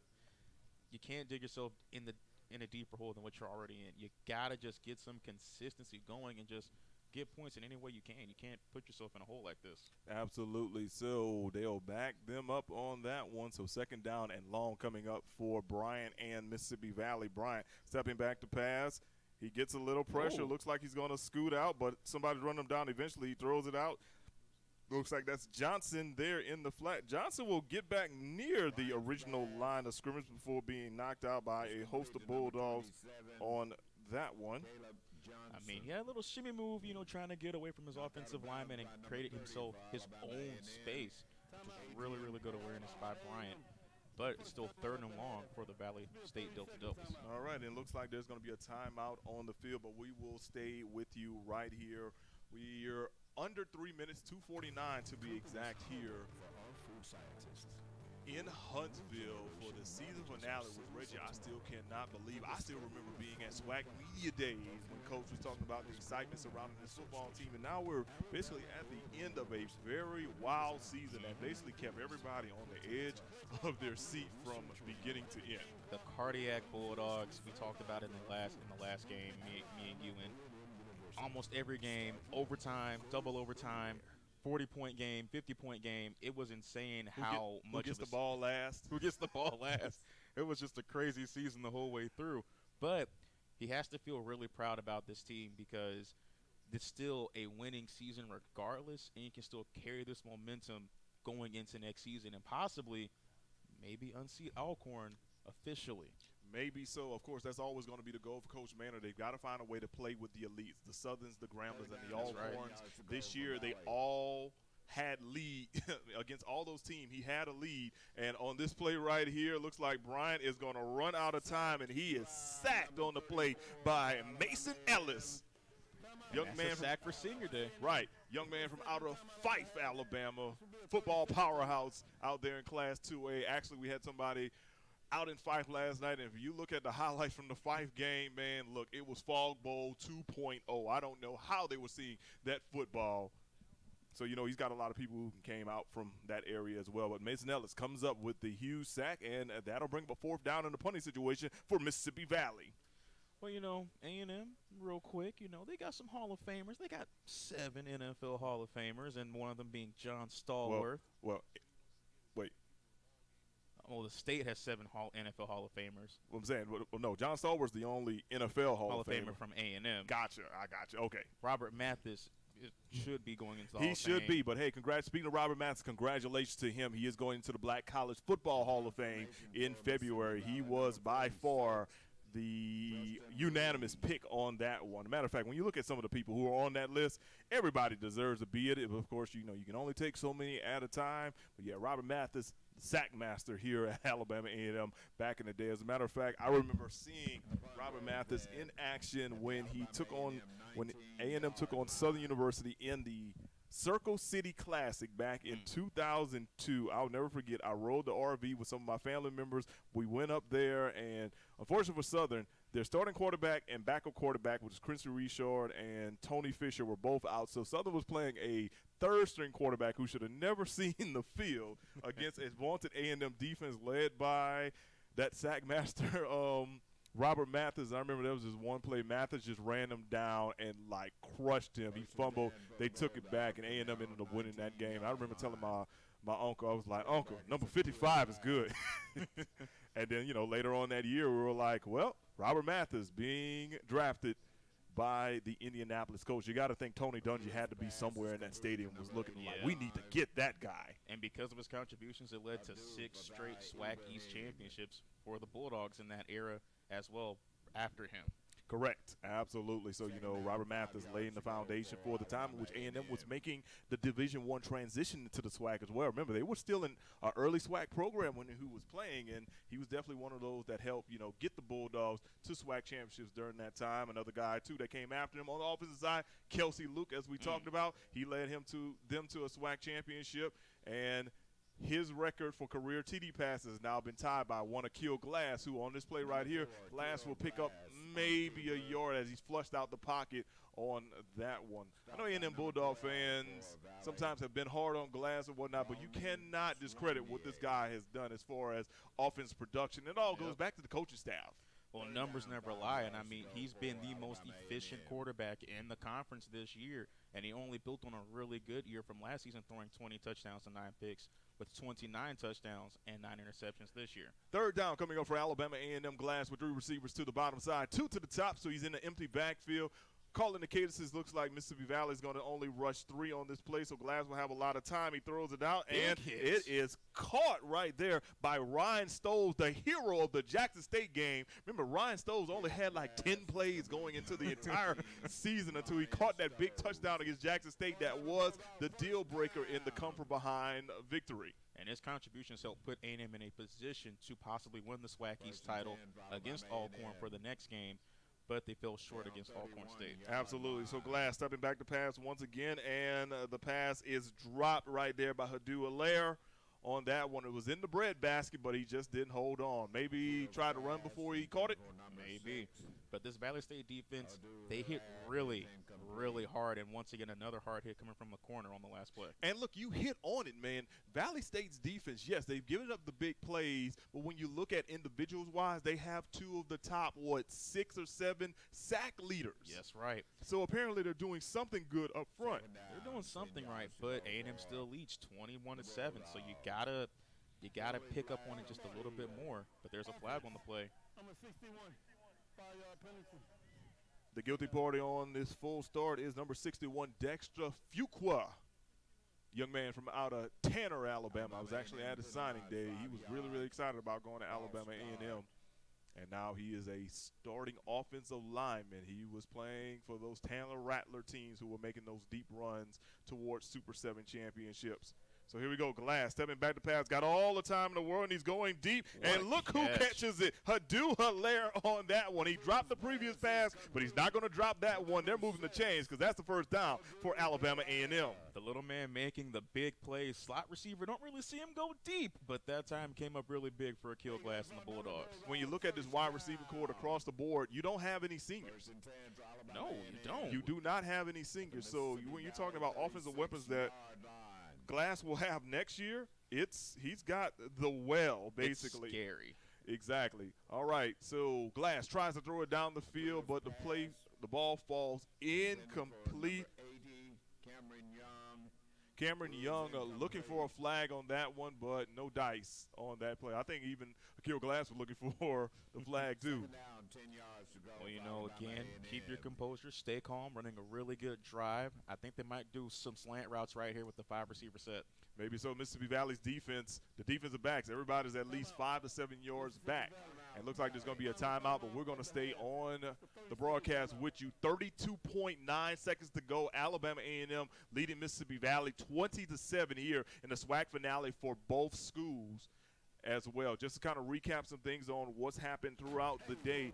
Alabama A&M getting on the board early with a 47-yard touchdown pass from Aqeel Glass to Adu Fatai Ibrahim. Mississippi Valley would respond with a Jarek Bryant three-yard touchdown run. It was 7 to 7 after the first quarter. In the second quarter, it was Jordan Bentley's show. Basically, they mm-hmm. basically rolled Jordan Bentley. Remember, we don't have a Ford, we don't have a Jaguar. We've got a Bentley. They rolled him all the way down into the end zone, and with that touchdown touchdown. He now set a record for most points scored in the season with 108.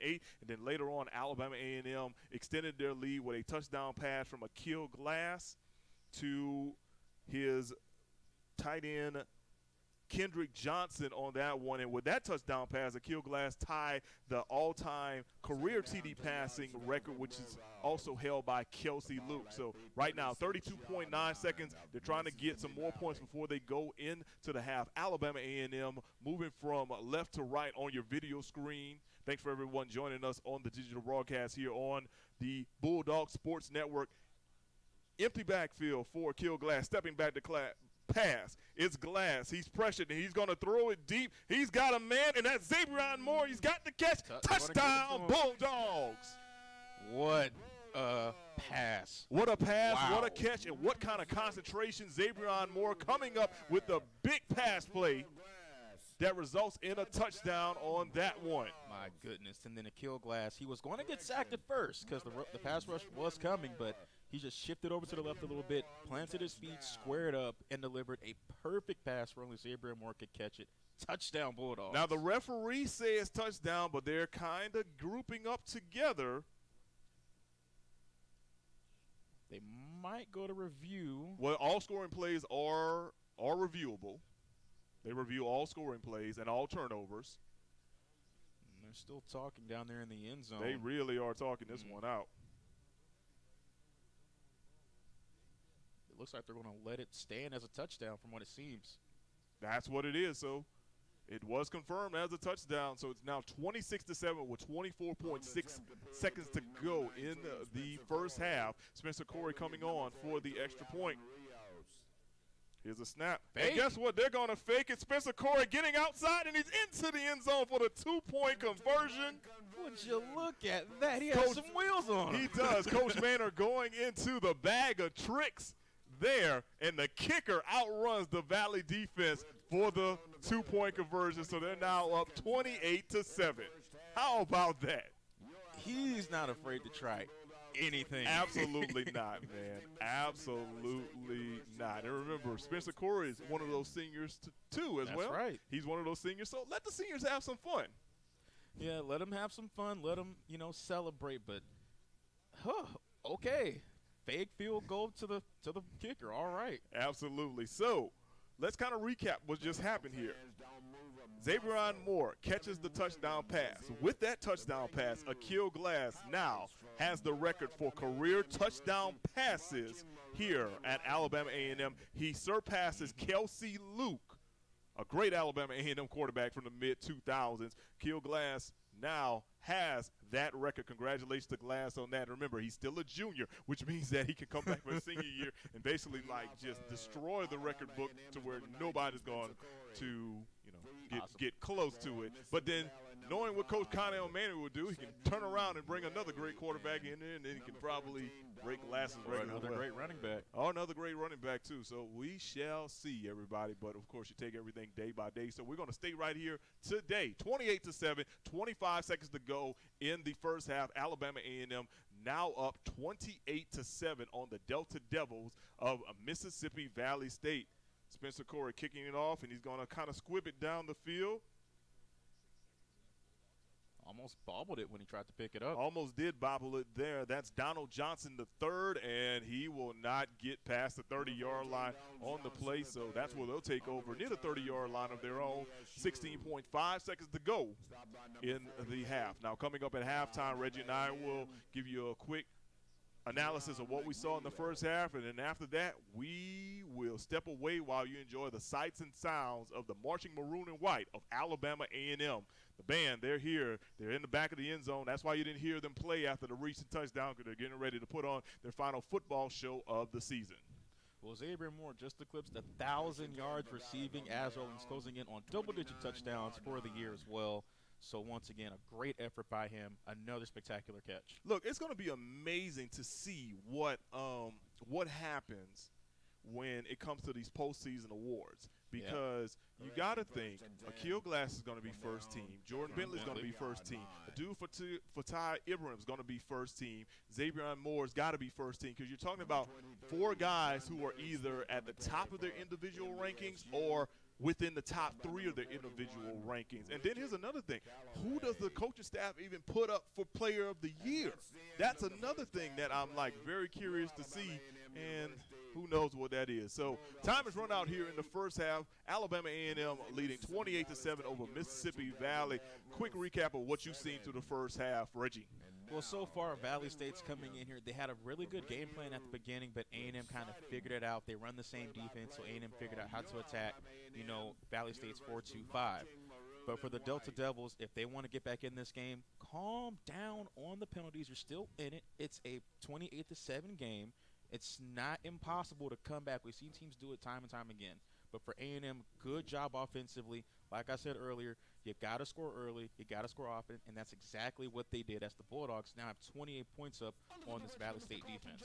All right, everyone, we will let you enjoy the sights and sounds of the marching maroon and white of the Alabama A&M marching band. We will return right before the third quarter with SWAC football. I'm Mo Carter. He's Reggie Reese. Enjoy the halftime show, and we'll be back with you to get things going in the third quarter right here with SWAC football on the Bulldog Sports Network. And composed by Barney E. Smart Sr.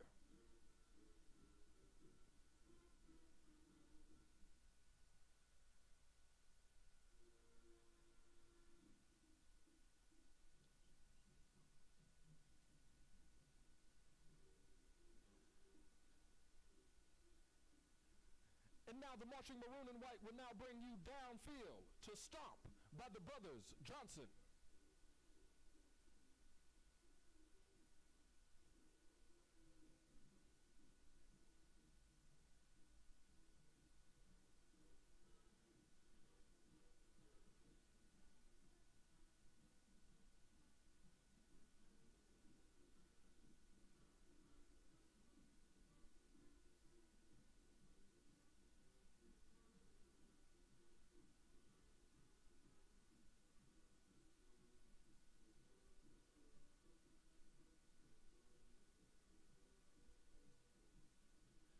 Ladies and gentlemen, you are now being entertained by your favorite band's favorite band.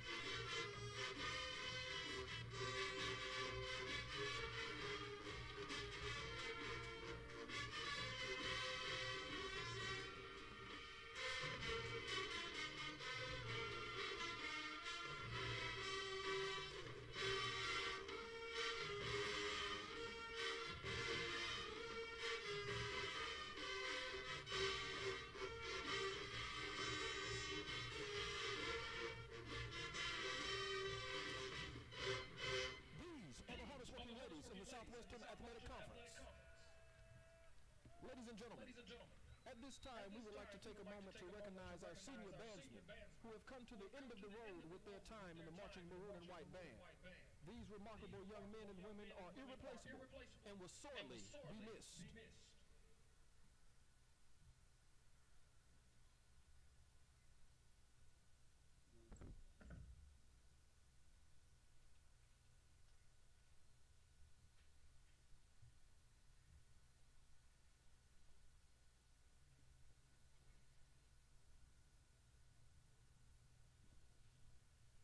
Mr. Devon Ard.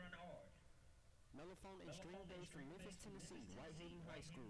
Major is music performance. His future plans are to perform with the Holland Cruise Line with the B.B. King All-Star Band. Miss Michaela Barnes, alto saxophone from Mobile, Alabama, BC Rain High School, and major is sociology. Future plans after graduation is to strive to become a policy analyst and get a master's degree in education to branch out into counseling of the youth. Miss Serena Dixon, Piccolo, Birmingham, Alabama, Huffman High School. Major is criminal justice, minor is sociology. Future plans are to start a career in criminal justice, working to become a crime scene investigator or FBI agent. Mr. Justin Armin. Instrument is baritone from Atlanta, Georgia. Clarkston High School. Major is electrical engineer with a concentration in micro electronics. Future plans are to begin a career at NASA. Miss LaQuadria Farrell. Instrument is trombone from Anniston, Alabama. High school is Oxford High School. Major is psychology with a minor in criminal justice. Future plans are to pursue a degree, a master's degree and doctor degree to become a clinical psychologist. Miss Letitia Friday.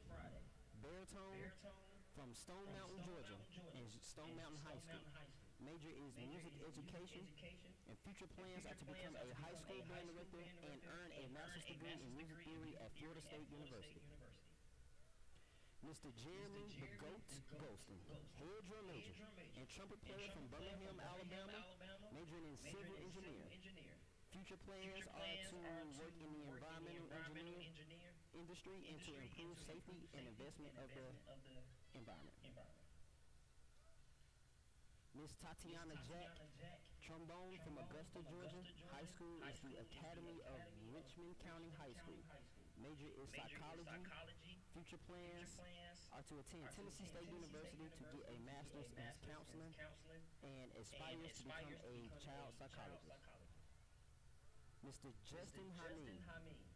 Instrument is percussion, cymbals from Birmingham, Alabama, minor high school. Major is nutrition and hospitality management with a minor in business administration. Future plans are to enlist in the United States Army Reserve upon completing basic training to return to Alabama A&M to receive an MBA.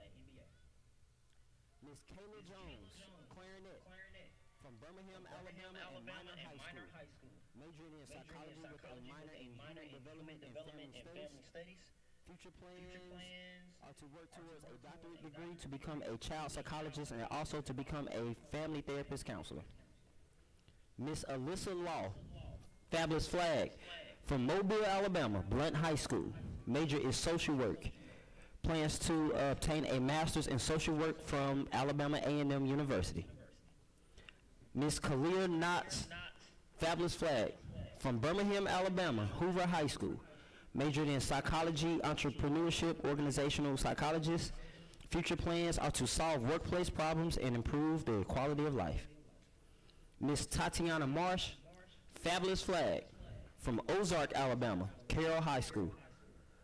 Major is criminal justice, plans to pursue a career with the FBI agency.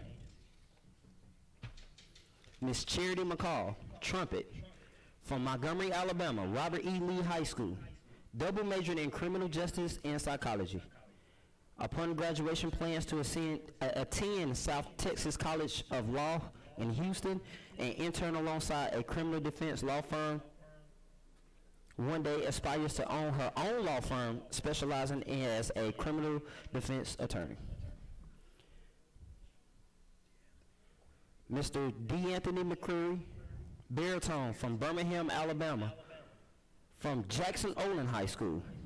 Major is art, graphic design, plans to become part of the animation and or game design industry and plans to donate funds back to the band and his college chapter of Alpha Phi Alpha Fraternity Incorporated. Mr. Quentin C. Nickerson, trumpet French horn from Birmingham, Alabama, Centerpoint High School. Major is humanities and behavioral science with a concentration in music education and performance. Plans to pursue a master's degree in music composition. Mr. Malik Randolph, instrument is saxophone from Phenix City, Alabama. Central High School, major is social work, plans on going into the military and working for Veteran Affairs. Mr. Matthew Rice, baritone, from Tuscaloosa, Alabama, Paul W. Bryan High School. Major is construction management.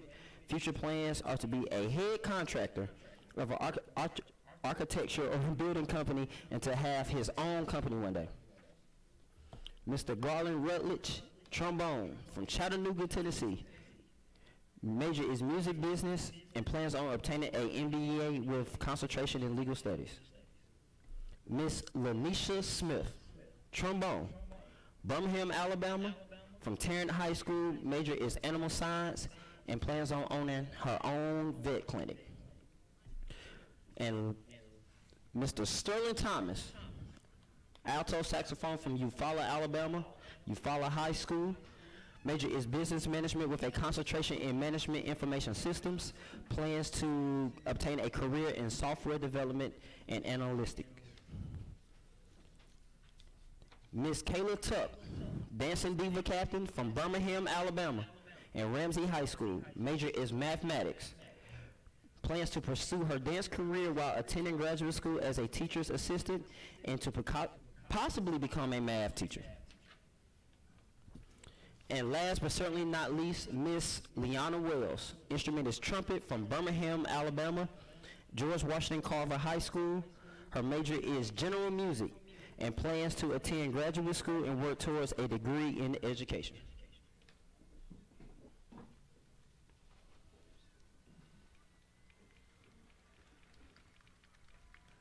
Thank you, class of 2020 and beyond, for your loyal and dedication to the Marching Maroon and White Band program. You started here, and now you can go anywhere. May God bless and order your steps. Ladies and gentlemen, please give these seniors a round of applause.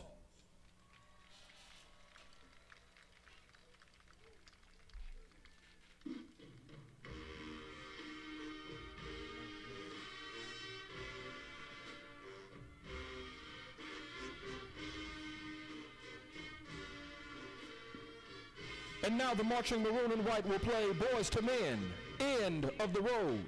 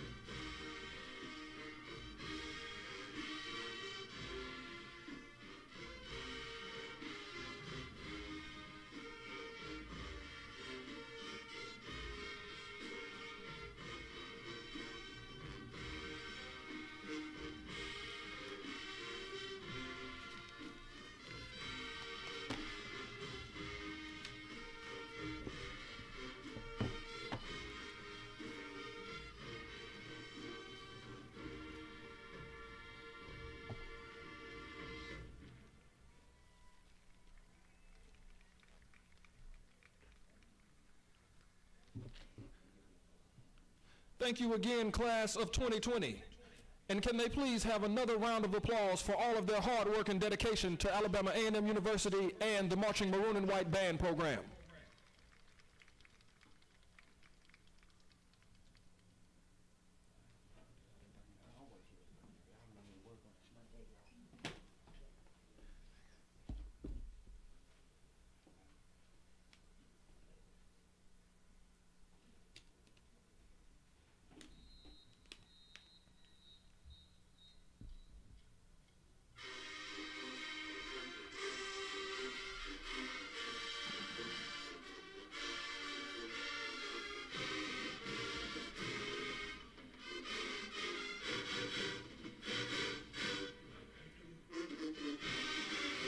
Behalf of our president,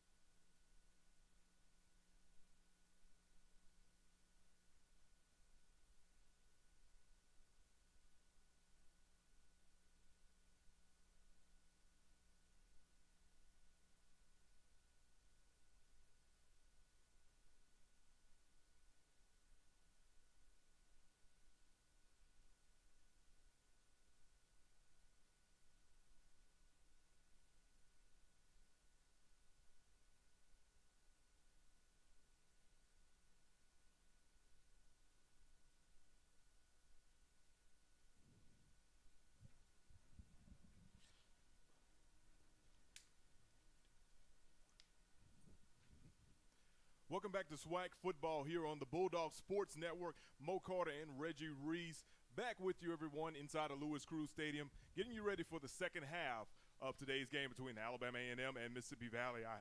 Our halftime score: Bulldogs up 28 to seven, and uh, they jumped out to that lead late in the second quarter with back-to-back scoring drives by Jordan Bentley and Aqeel Glass, scoring those touchdowns. Well, let's see what A&M can do right here. They have the advantage going into halftime. They have a lots of momentum, but Valley State starts off with the football, so we'll see if the Delta Devils can regain some of that lost momentum from the first half. Absolutely. So here we go, coming Alan on for the kickoff and receiving it back deep is a Mississippi Valley. the Valley kickoff returner actually ran over his own man on that one. That was Devin Graves. Like, get out of my way. I'm trying to get up the field. And you're moving – trying to move him out the way. That kind of didn't work because he got tripped up right after that. No, it did not. But he still got some decent yards, so Valley State has some pretty good field position to start off on offense. All right, taking a look at a couple of first half stats. The stat line, as far as total yards and everything else, is basically dominated by Alabama A&M. Total yards for the Bulldogs, 284. 221 of those yards were passing by Aqeel Glass. He's already thrown for three touchdowns today. Jordan Bentley leads all rushers with 69 on the ground. Um, well, 69 gain, net 64, and he's already got a touchdown on the ground. And let's get back to the action right here as Mississippi Valley moving the ball down the field. A quick screen pass was thrown out to Caleb Johnson, and he picks up a ton of yardage on that play and that's a first down for Mississippi Valley. Delta Devils trying to catch the Alabama A&M Bulldog defense off guard, and they just did do that. And they got a new quarterback in. That's Roger Totten the second. Roger Totten the second. You know, with a last name not Totten, he's got to be a pretty good quarterback, right? Got to be. Let's see. Totten throws out the quick screen to his wide receiver. That is caught by a number 81, Marcus Kidd, and he'll pick up about a yard on the play at most. I'm not even actually might have been a half yard at that. So Alabama, excuse me, Mississippi Valley switching things up. They're going away from their previous quarterback, which was the Jarek Johnson, and going with Roger Totten the second. I know the folks down there in the Mississippi Delta have to love the fact that there's a Totten playing quarterback. I mean, I know this can't be Coach Totten's son, so it's got to be a relative somewhere. Because I know Coach Totten has you know, daughters. Well, he is throwing more than what Jared Bryant did in the first half, so he might have that gunslinger type of arm. We're going to find out. Maybe so. Maybe so. But yeah, like I said, you know, across the state of Mississippi and really in the entire Southwestern Athletic Conference, you hear that last name, you automatically think about Willie Totten of the Satellite Express in general. And of course, Coach Totten was here at Alabama A&M for a couple of years. He was the quarterbacks coach that actually brought in one Aqeel Glass. And mm-hmm. looks like we have an instant replay situation coming up. I actually couldn't hear what the um, referee was saying primarily because the bands were playing. They've kind of split the bands up so they half the band is on the home side now, half the band is on the away side. I've seen the school do this multiple times in games in which you know there aren't there isn't a visiting band so they could have maybe a mini, you know, yeah, mini battle. battle going back and forth. You know, give you some kind of feeling of the real side football game going on. Other scores going on around the SWAC, though. Texas Southern and Pine Bluff, they won't start until 3 o'clock Central Time. Alcorn State leads Jackson State 7 0 at the end of the first.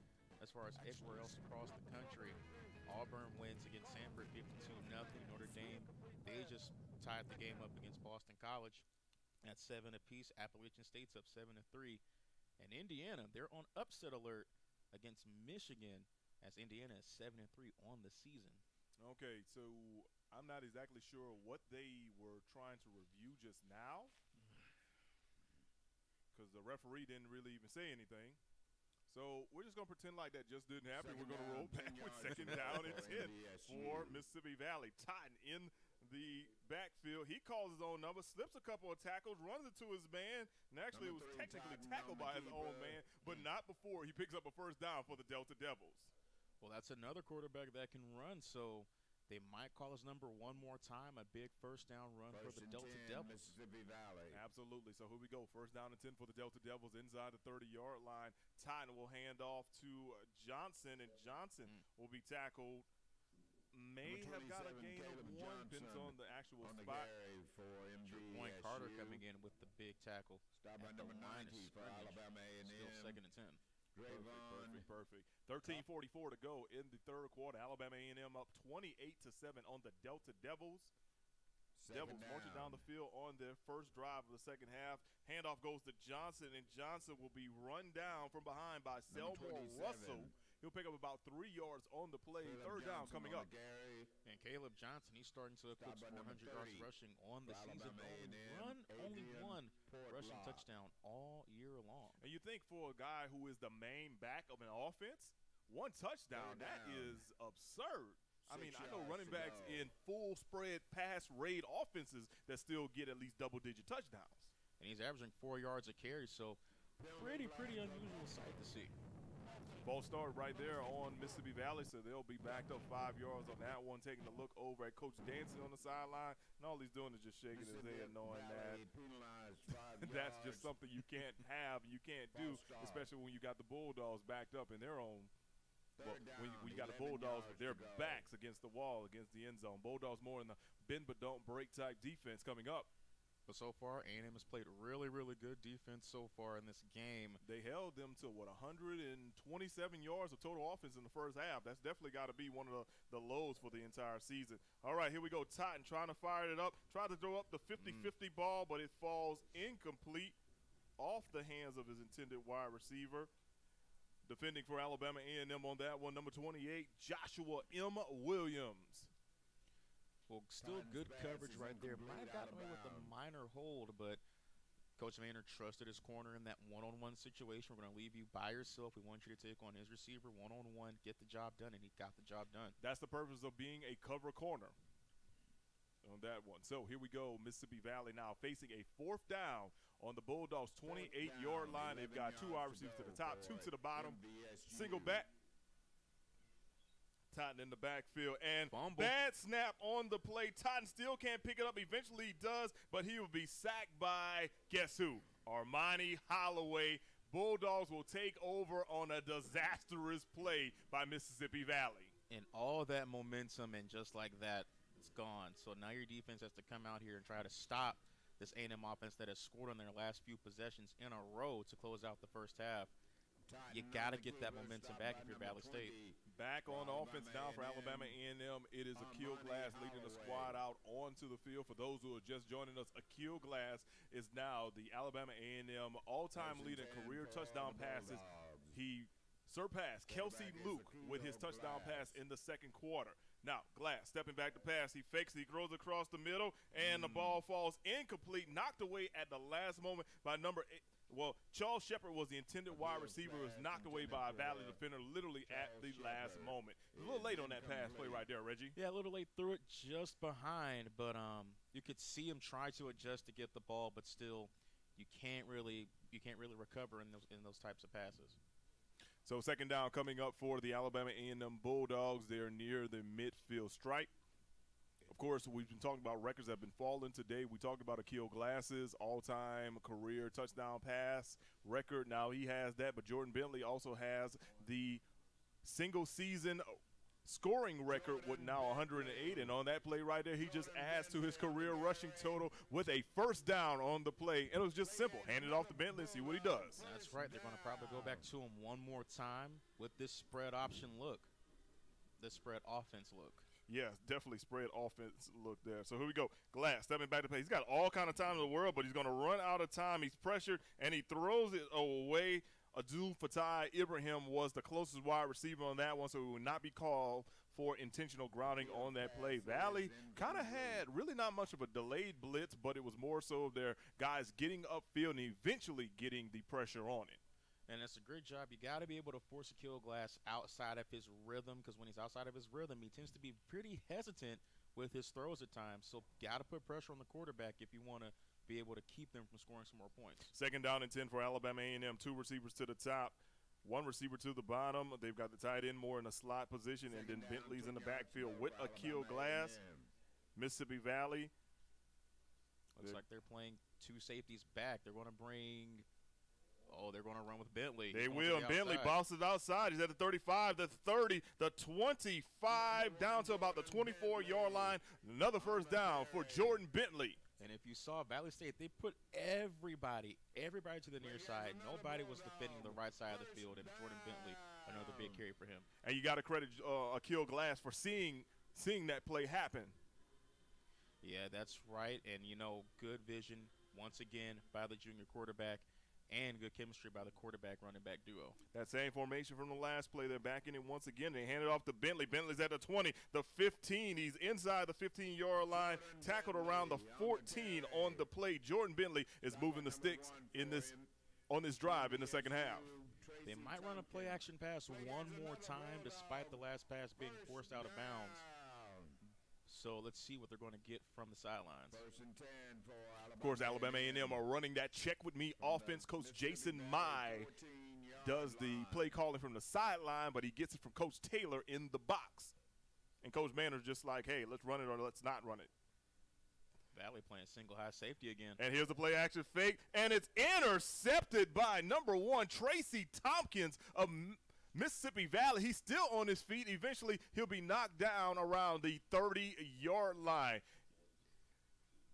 Wow, that what a momentum killer. Definitely Oh, a momentum swing on that one as I take a look at the, the replay here. I mean, J- Aqeel Glass had his man, but you got to give props to Tompkins on that one. He just read that one, stepped in front of it, and took it all the way back. Big momentum swing for Mississippi Valley. But there's someone down the field that's Tavoris Butler, one of the seniors being honored on senior day. But he's going to walk up under his own power. It's a good thing he can. Absolutely. Now, the intended wide receiver on that play was Kendrick Johnson, and if if Glass throw if Glass throws it in front of him, he's probably scoring right there. But he kind of did throw the ball a tad bit late.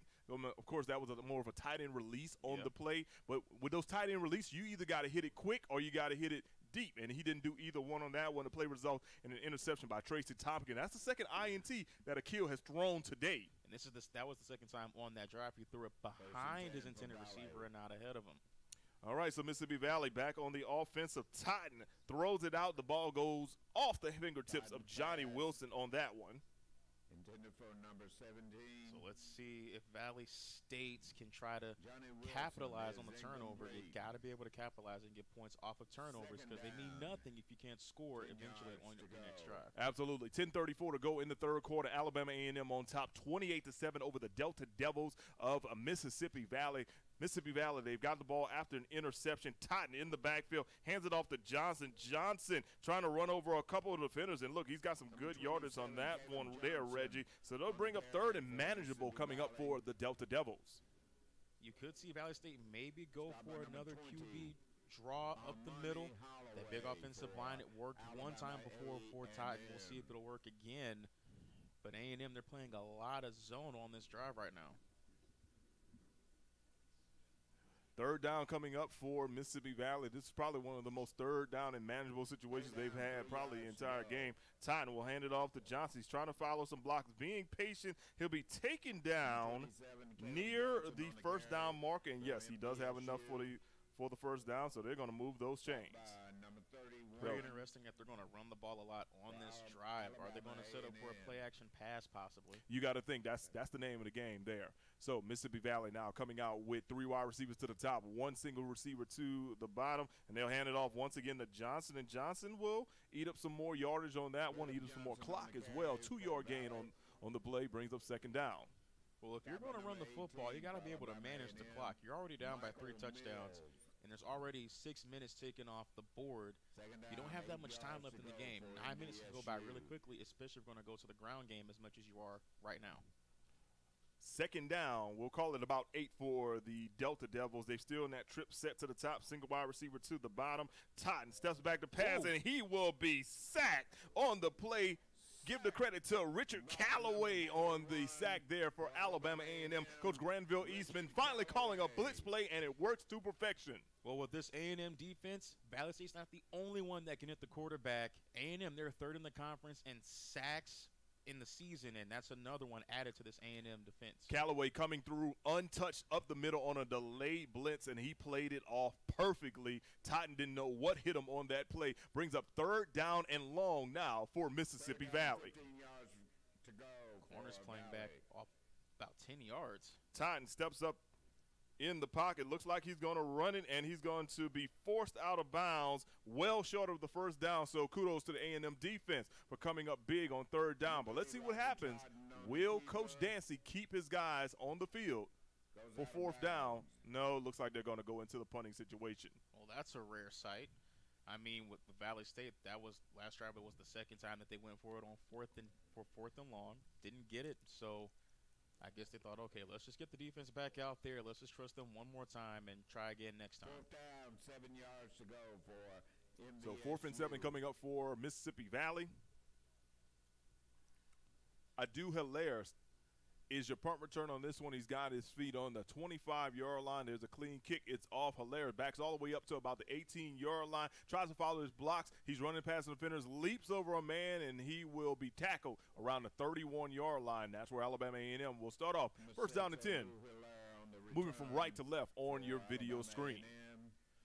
Well, I, I gotta say, Coach Maynor must be pretty proud with how well this team has played so far, because he knows how dangerous Valley State can be, because they can catch you off guard. And his defense and offense have stepped up to the call and have played really well on both sides of the field. Absolutely, and of course, Coach Maynor wants to have wants to see his team go out with a victory, which will be for sure second winning season straight. Something we hadn't seen in quite a while here on the hill. First down play, Aqeel Glass throws a quick wide receiver screen to a Adu Fatai Ibrahim. He gets maybe one on, on the play, but those defensive backs of Mississippi Valley read that perfectly. Good job game tackling by the secondary and by the linebackers as well to be able to stop the way from getting any any extra yardage. Forward progress did give him one yard, so it'll bring up second down and nine for Alabama A&M. Aqeel Glass still in at quarterback. They got Bentley back there one more time. He's got a trips tight set to his right side, and they're going to pitch it out to Bentley. Bentley trying to follow those blocks. However, the n- number 11, William Morgan, slips away from from the wide receiver who was blocking him and comes up with the tackle on that one. Actually, pretty great play call. It's just that the defensive back for Mississippi Valley just made a great play. And I guess you're going to see this defense kind of step it up a bit more, play more stout, try not to give up the big plays. They did a good job last time stopping A&M from scoring one more time in the red zone. We'll see if they do it one more time and cause another fourth down. Third down coming up for Alabama A&M. They've got trips to the top. They've got single to the bottom. Bentley in the backfield with Aqeel Glass. Looks like Mississippi Valley's going to send five guys up front. So look for that five-on-five matchup. They'll actually bring four and miscommunication right there on the play. Aqeel Glass looks like he wanted to hit Xavier Moore, but maybe Xavier cut inside or Glass wanted him to keep going up the seam. Now that's the third time so far in this half that Aqeel Glass has threw it behind his receiver. He ran an in route and threw it way too, way too far behind him, had to reach backboard. But you got to question, is Aqeel Glass losing his poise right now to kick off the second half? I think he really was shaken up a little bit by that interception that happened in the red zone. I mean, luckily they're still up by 21 points. But you got to think that, you know, that that touchdown would have gave them a four touchdown lead. Instead, now Alabama A&M is punting, and a great play by Armani Holloway getting the tackle on Donald Johnson the third on the punt team. Holloway not giving him any time to rush that ball back. And another potential first team all SWAC player and Armani Holloway leading his team in total tackles so far this season. And that that's just filthy. That's just disrespectful with the way you tackle somebody. But you got to instill that type of physicality if you want to be able to keep this lead and keep Valley State at bay. And remember, Armani Holloway was the leading tackler in the entire Southwestern Athletic Conference last year. Mm. So he was a uni- he actually was a unanimous preseason pick for this upcoming season. So here's Mississippi Valley back on the offensive. The handoff goes to Johnson, and he goes nowhere on the play. Forward progress may have given him a half yard, but it'll still be second down and long coming up. And Valley State, they're going to. They brought out a they brought out a new quarterback. I don't. That's not the Jarek Bryan. That's not Totten either. No, it's not. That is Chandler Robinson in at quarterback now for Mississippi Valley. The third quarterback used by Mississippi Valley is throwing out all the shots, and on his second play on the offensive, there's a penalty. Again, uncharacteristic. You got to bring down those penalties. For someone who does not commit that many penalties, you don't want to do this, especially if you're trying to come back and you're running a three quarterback system as well. You really have to be perfect in every aspect of the game to make this comeback possible now. Correct. So, false start on Mississippi Valley. That'll push them back and bring up second down and long. Don't really have too many stats on Mr. Robinson this year. So maybe Coach Dancy probably uses this guy uh, seldomly and Yeah. pending, you know, depending on how much time he actually has, it's just maybe, you know, just time just kind of show what he's worth. But on that one play right there, Alabama A&M gets the best of him, and he is sacked by a host of Bulldogs, led by number 92, Breon Austin. Breon Austin. Great pass rush. Again, you got to get the new quarterback a bit flustered, make him nervous, make him feel your presence, and that leads to another big play for the defense. Third down, and we'll call this about 17. Down, Yeah, just about. yards to go. About 17. So Bulldogs looks like they're going to send about five, well, four guys on the rush with against Mississippi Valley's trips to the top and single to the wide receiver. Robinson throws across the field, and he is off the mark. The intended wide receiver on the play would have been number 13, Verade White, but then at the same time, that ball was so overthrown. I'm not exactly sure he was even been able to jump at it at the highest point and actually make that catch. Might have been throwing it back to Mississippi at that point. Possibly. possibly, man, possibly. So Mississippi Valley is forced to punt. Adu Hilaire coming back for Alabama A&M for the return. He's standing around the 49-yard line. Down, 19 yards Well, go this Valley State Valley. defense, once they get back on the field, they have nine interceptions so far this season. Aqeel Glass has been a bit shaky, so they might put some more pressure on him with the remainder of this quarter. Speaking of pressure, A&M does bring a little pressure on the punt, and Oh, Hilaire will no. fumble. It looks like there's a muff on it, and Mississippi Valley comes up with the recovery of the muff. Looks like that's number 24, Isaiah Latham, coming through with uh, the recovery of the muff punt. That's the that's that's just bad. number Adu 24, Hilaire, I get it, you're a freshman, but you got to bring that in.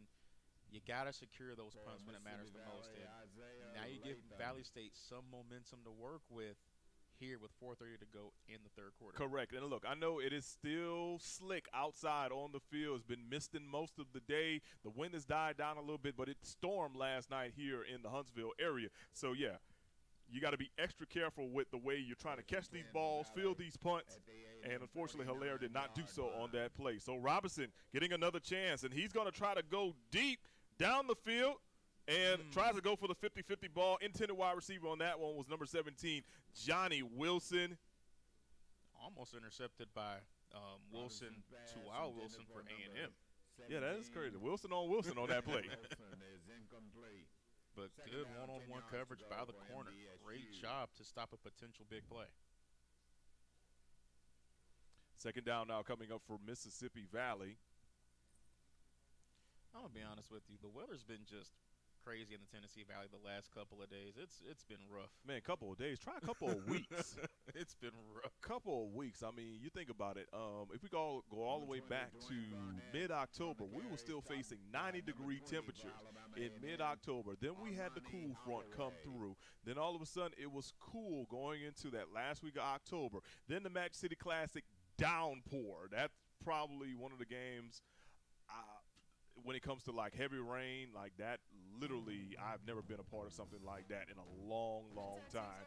And it was pouring down raining there. And then it warmed up. The next game we had with Jackson State, that was here at home, of course, it warmed up through the day. But then once the sun went behind those clouds, it got really cold.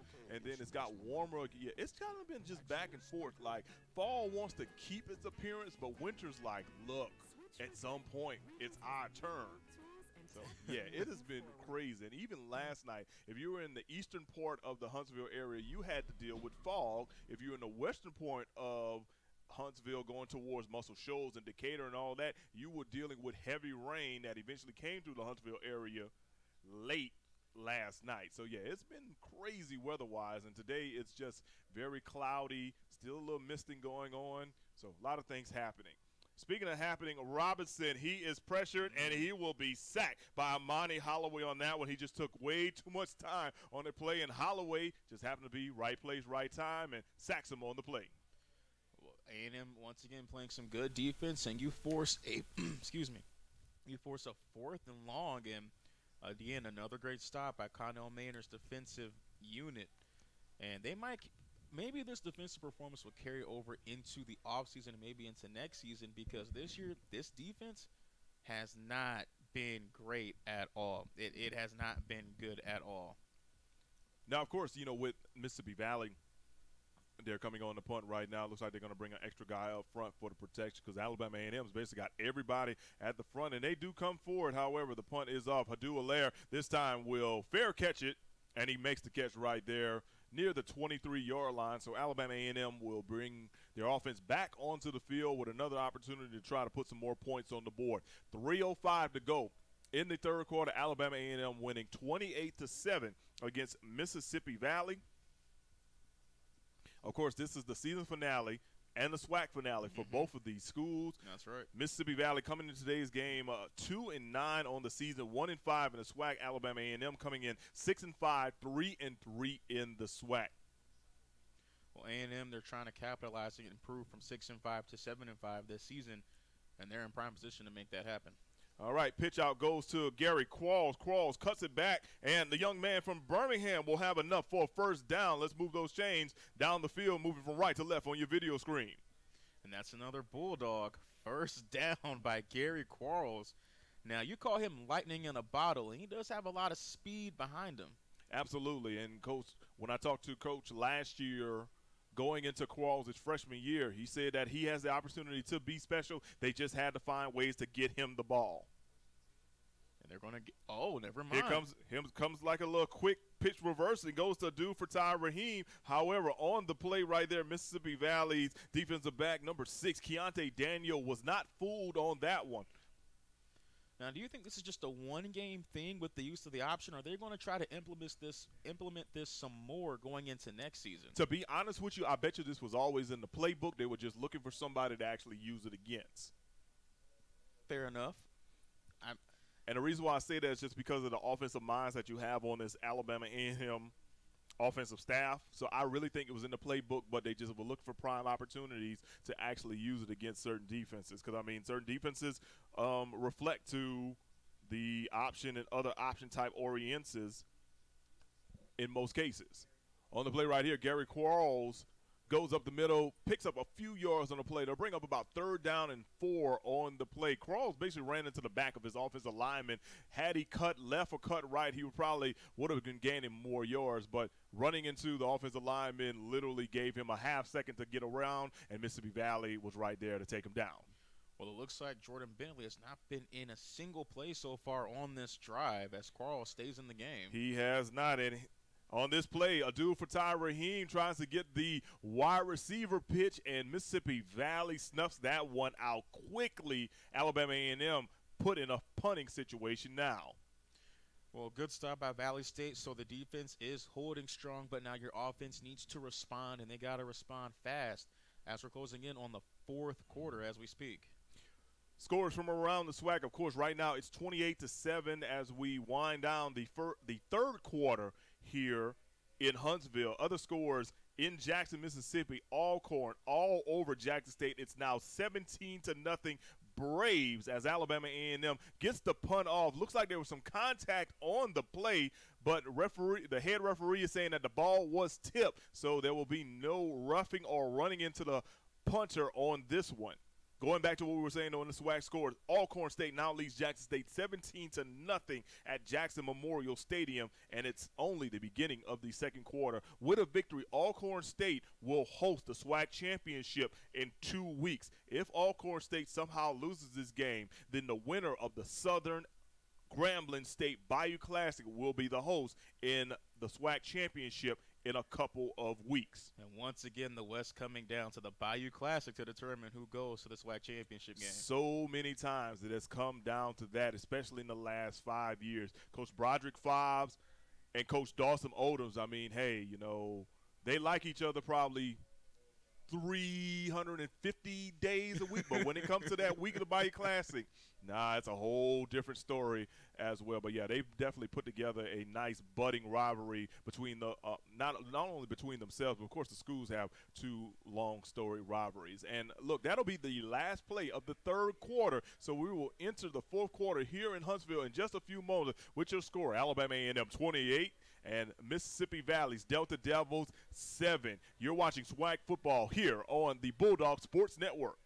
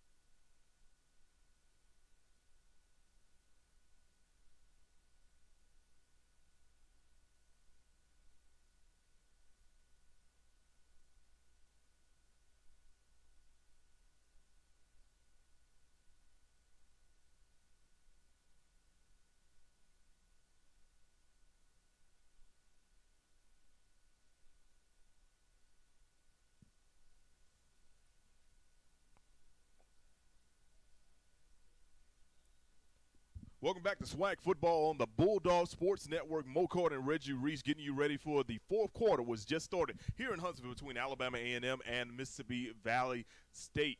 So, Reggie, as we go into the fourth quarter, of course, Valley now working with their third quarterback on the day, and Chandler Robinson still kind of really hasn't found his arc, or really hasn't found his groove as well with Mississippi Valley. Well, it's pretty interesting because you go from, you know, Bryant – to Totten to Johnson. So we'll see what he can do. He's throwing the ball really high. I have noticed that. He is very prone to, to overthrowing the football. But that high pass was caught by Johnny Wilson, and that'll move the sticks for Mississippi Valley. First down. First down.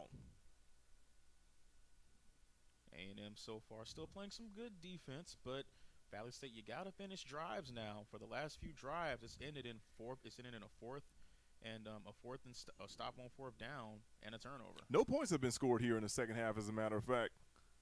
Almost intercepted just now. Absolutely, as the pressure was on Robinson on that one. Oh boy, but again, despite despite the fact that Valley State is a big defensive team, you want to get momentum in any way, shape, or form that you can. So to play like this at the end of the season to close out the year for A&M's defense has got to be a really huge confidence boost for the younger players. Absolutely. And you got to think, too, with Alabama A&M's defense, this is the third defensive scheme in three years that they've had to learn. So with that being said, that's kind of tough on a lot of these players as Robinson rolls out and he'll complete the pass to Christian Sutton, but he only picks up about three yards at max on that play. But going back to Alabama A&M's defense, yes, third scheme in three years. They had Travis Pearson's scheme, then they had Coach DeBastiani's scheme. Now they're under Coach Granville Eastman's scheme. Of course, those three schemes have been three completely different schemes. So you got to think about how personnel tries to attract to that. and how that affects recruiting. As Robinson rolls out, he's got a little time. Looks like he's going to call his own number, slips a tackle. He's down to the 20 yard line, and that's what will be stopped by a host of Bulldog defenders on that one.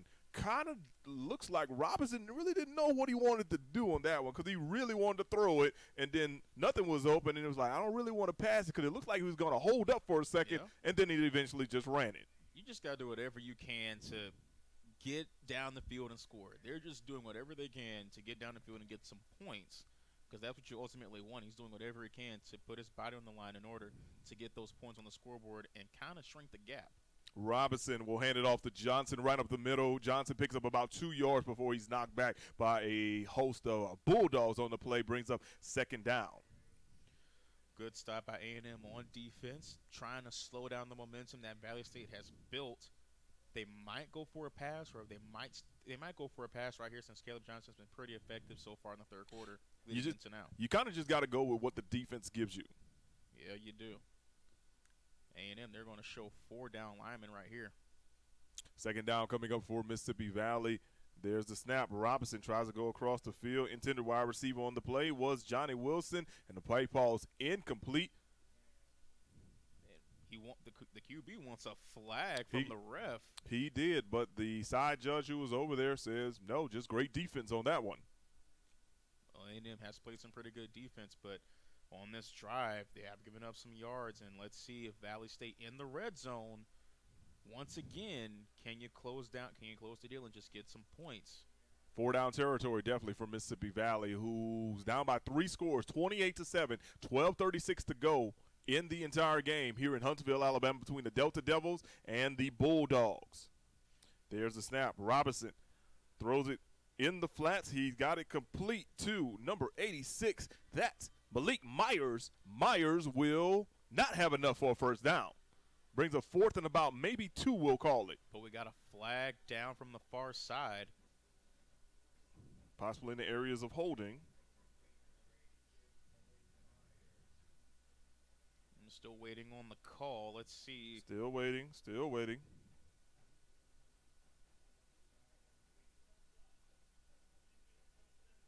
False start on the defense. Offsides on the defense. They'll replay third down. So basically, that was a free play for Mississippi Valley. Well, there you go. You got the free play in. You inch a little bit closer.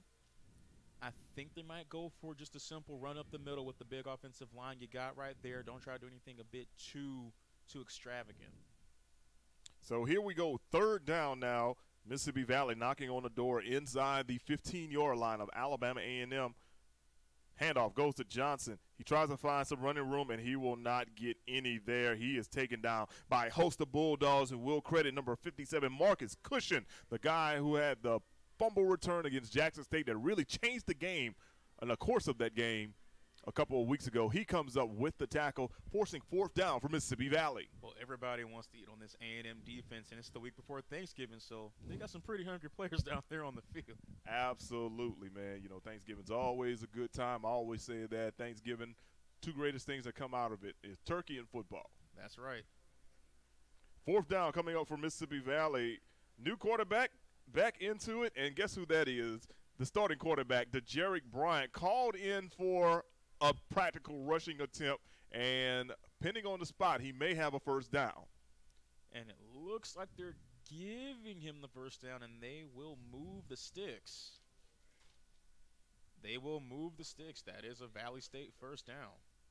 All right, so we've just been informed that Alabama A&M's Armani Holloway now has the single season tackler record with 113. He bypasses Johnny Baldwin, who set that record all the way back in 2006, along with Jamal Ware in 2002.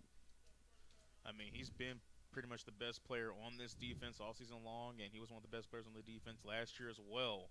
And a lot of people wondering how he was going to play with the loss of Uric Bethune, but it looks like he has kind of stayed in the same same range and same motion that he was doing last year. There's a timeout on the field. We'll take it with them with 11:18 to go in the fourth quarter. Bulldogs lead the Delta Devils 28 to 7. You're watching SWAC Football on the Bulldog Sports Network.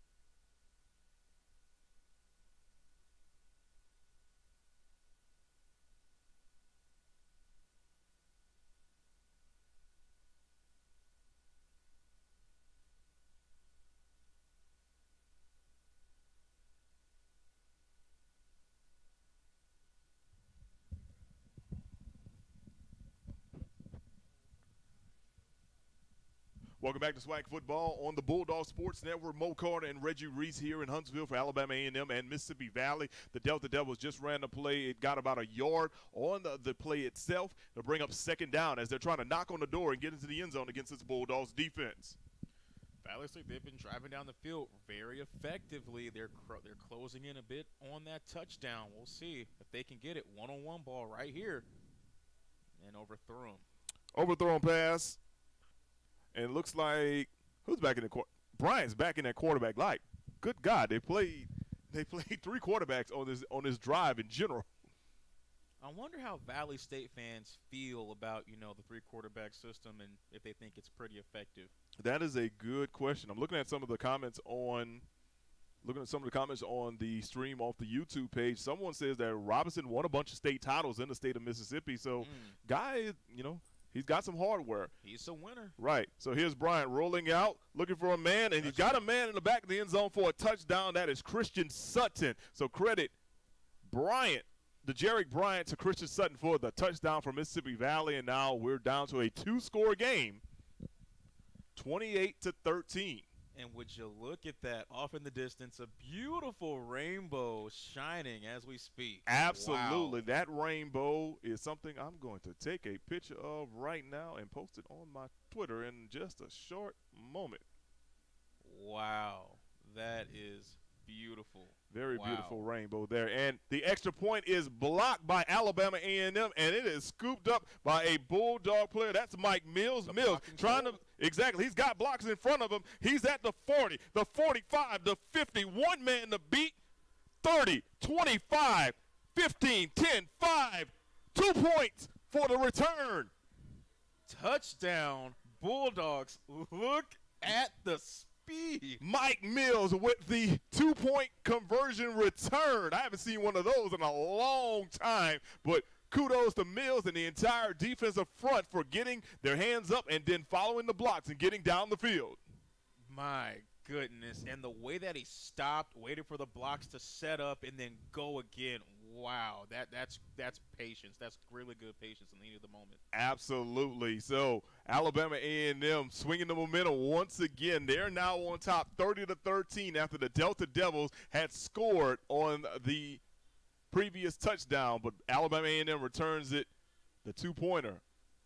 I'll say I'll, I'll give him 90 yards on that one. I can't remember exactly where he actually picked the ball up from, but – hey, he's got two points on the day, and Mike Mills, another one of those seniors who's going out in style. That's right. And what better way to go out than not only with a great touchdown, or with a great block field goal leading to points, but a potential A&M win on the horizon as the rainbow continues to shine brightly over the campus of Alabama A&M University. Absolutely. As a matter of fact, if you go to my Twitter in about a minute, so at Mo Carter WZDX, I will post a picture of that beautiful rainbow that is shining right over the horizon near Louis Crews Stadium. And that rainbow, that must mean a sign of good times, as Coach Maynor must love the way his special teams came up with a great, great block to shut down some to shut down any chance of Valley State making it a two touchdown game. Absolutely. So your new score, Alabama A&M 30, Mississippi Valley 13, 10:38 to go in the fourth quarter. Alabama A&M lining up for what appears to be an onside kick, and what in the world just happened here? Okay, so Mississippi Valley just took off and then they stopped, but they had a bunch of players go across what would be the line of scrimmage where the ball is, and no penalty was called. I like how they all just stopped at the same time. exactly. so Quarles and Adu Hilaire are back deep, and Quarles will take the kick.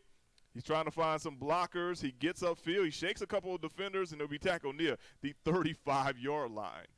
Crazy sequence there. And Reggie, as a, as a matter of fact, we've got another beautiful rainbow over the actual stadium this time. Wow, like this is just a great sight. In the midst of all this rain, you're going to always have light that's going to eventually shine down on you. Absolutely. So, as as promised, everyone, if you go to my Twitter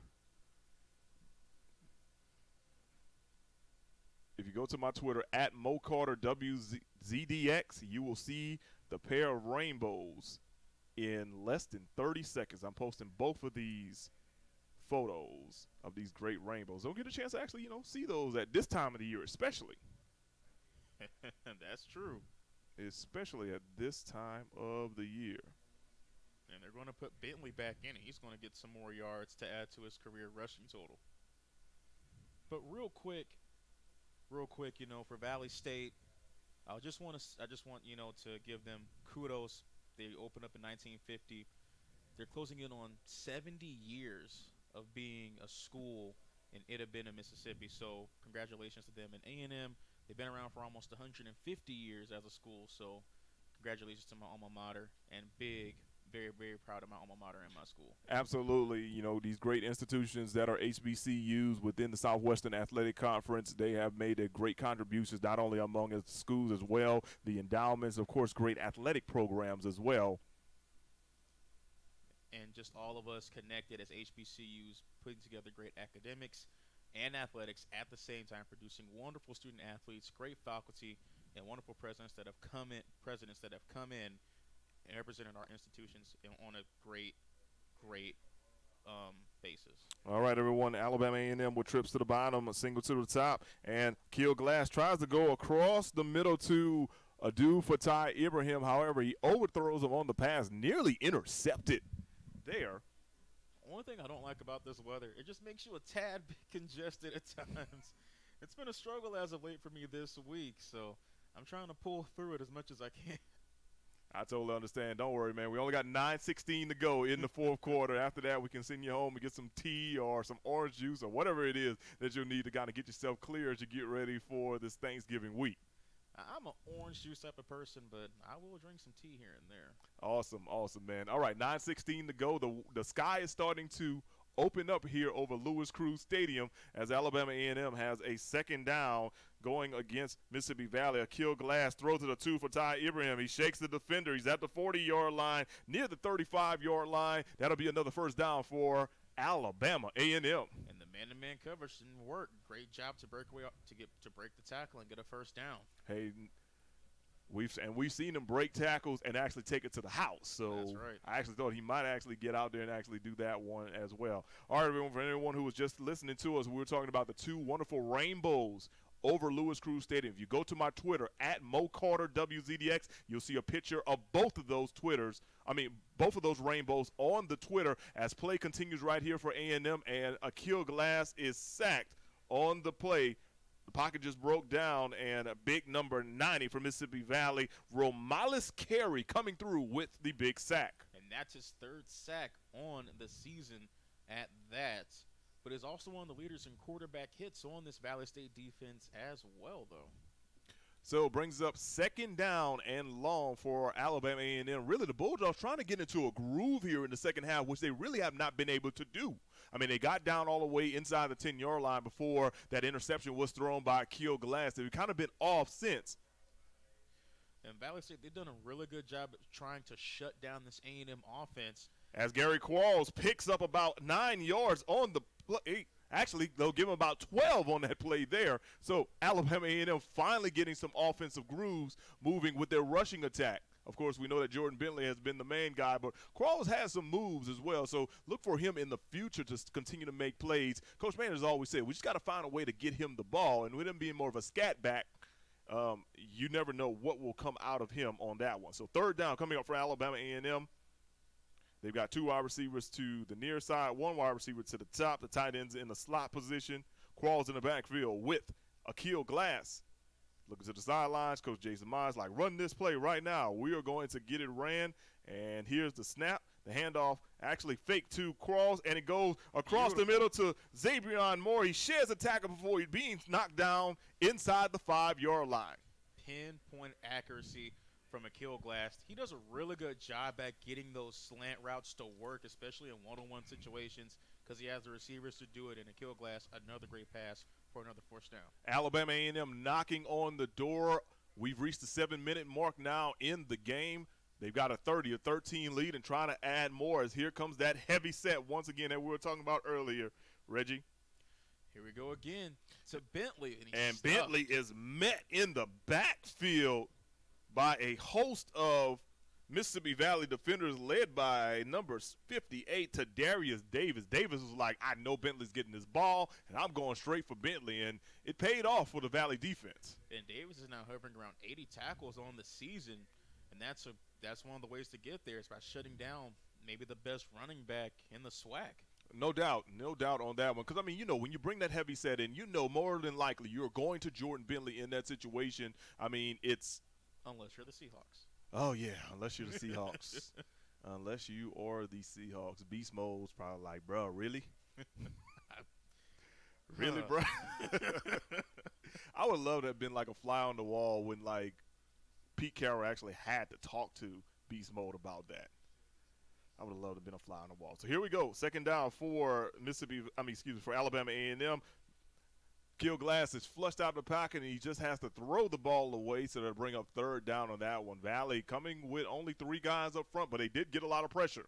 Kudos to the Delta Devils for, be, for being able to stand up to this A&M offense in the red zone to prevent a touchdown, forcing a third another third down um, against the Bulldogs. So here we go, third down. Looks like Coach Maynor had to kind of bring back out the spread set once again. Keep an eye, though, on the tight end in this package right here. That is number 87, Anthony Howard.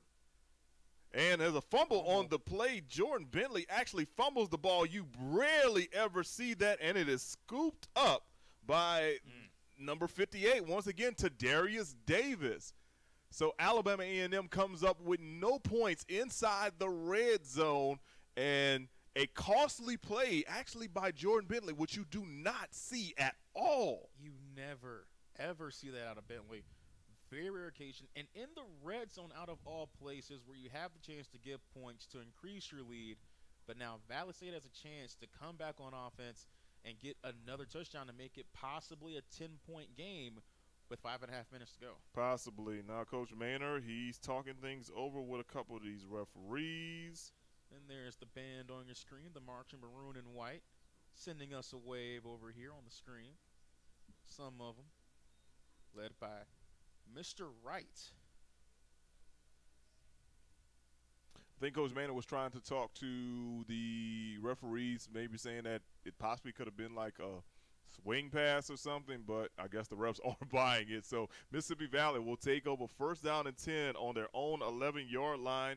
And back at quarterback is the Jarek Bryant. Bryant will hand it off to hmm. Johnson, and Johnson is met in the backfield by a pair of Bulldogs led by the one, the only Armani Holloway. And that's a grown man tackle. That they might want to try to force a safety against this Valley State offense if they can with all the pressure that they're able to get on the last couple possessions. We're reaching the five-minute mark here in Huntsville, Alabama. Alabama A&M on top of Mississippi Valley, 30 to 13. Flag. Tons of flags on this play. so let's see what happens on that one. I can tell you that John Derrick Smith did get the ball and tried to rush up the, around the right side.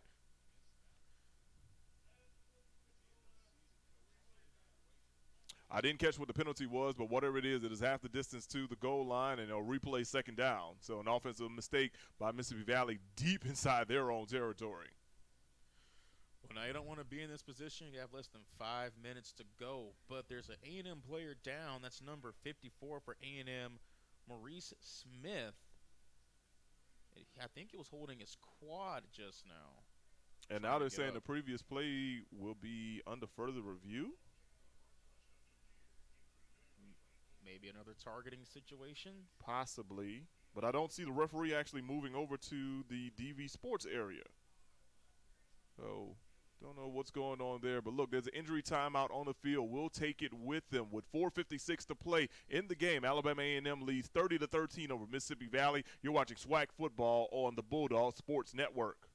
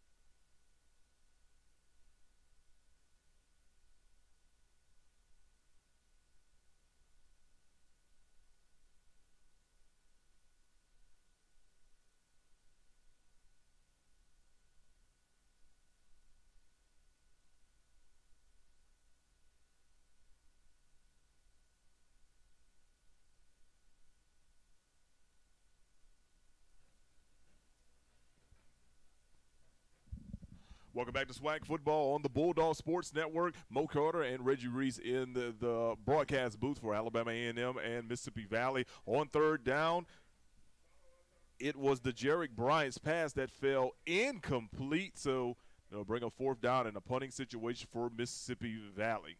I think really at this time, Valley's kind of just trying everything they can and trying to just really get a feel of, okay, can you play? Can you play? Can you play? And then we're going to evaluate that. Yeah. I mean, with the season that you have this year, you know what the strength of your team is going to be next year. I promise you this next season, I would not want to play a Valley State's defense whatsoever because say what you want about 30 to, th- to 13, they have shown they will hit you and hit you hard and force you to do things you don't want to do. Another muff punt by Colby White. However, Alabama A&M is able to jump on that recovery there, so they'll take over near midfield. I'm pretty sure who's in, whoever's in charge of uh, special teams will not like no. not like what they see on the tape when they look at things tomorrow and meet with the team.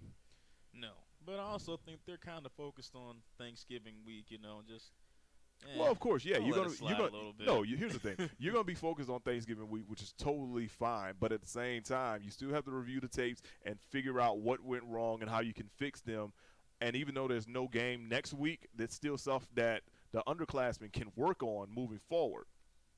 All right, new quarterback in the game for Alabama A&M. We don't say that too often. Tyrone Bell mm. in. He'll hand it off to to Gary Qualls on that one. Qualls will pick up about a yard on the play. Tell us a little bit about Bell, Reggie. I know he's seen limited action this year, but he has seen action.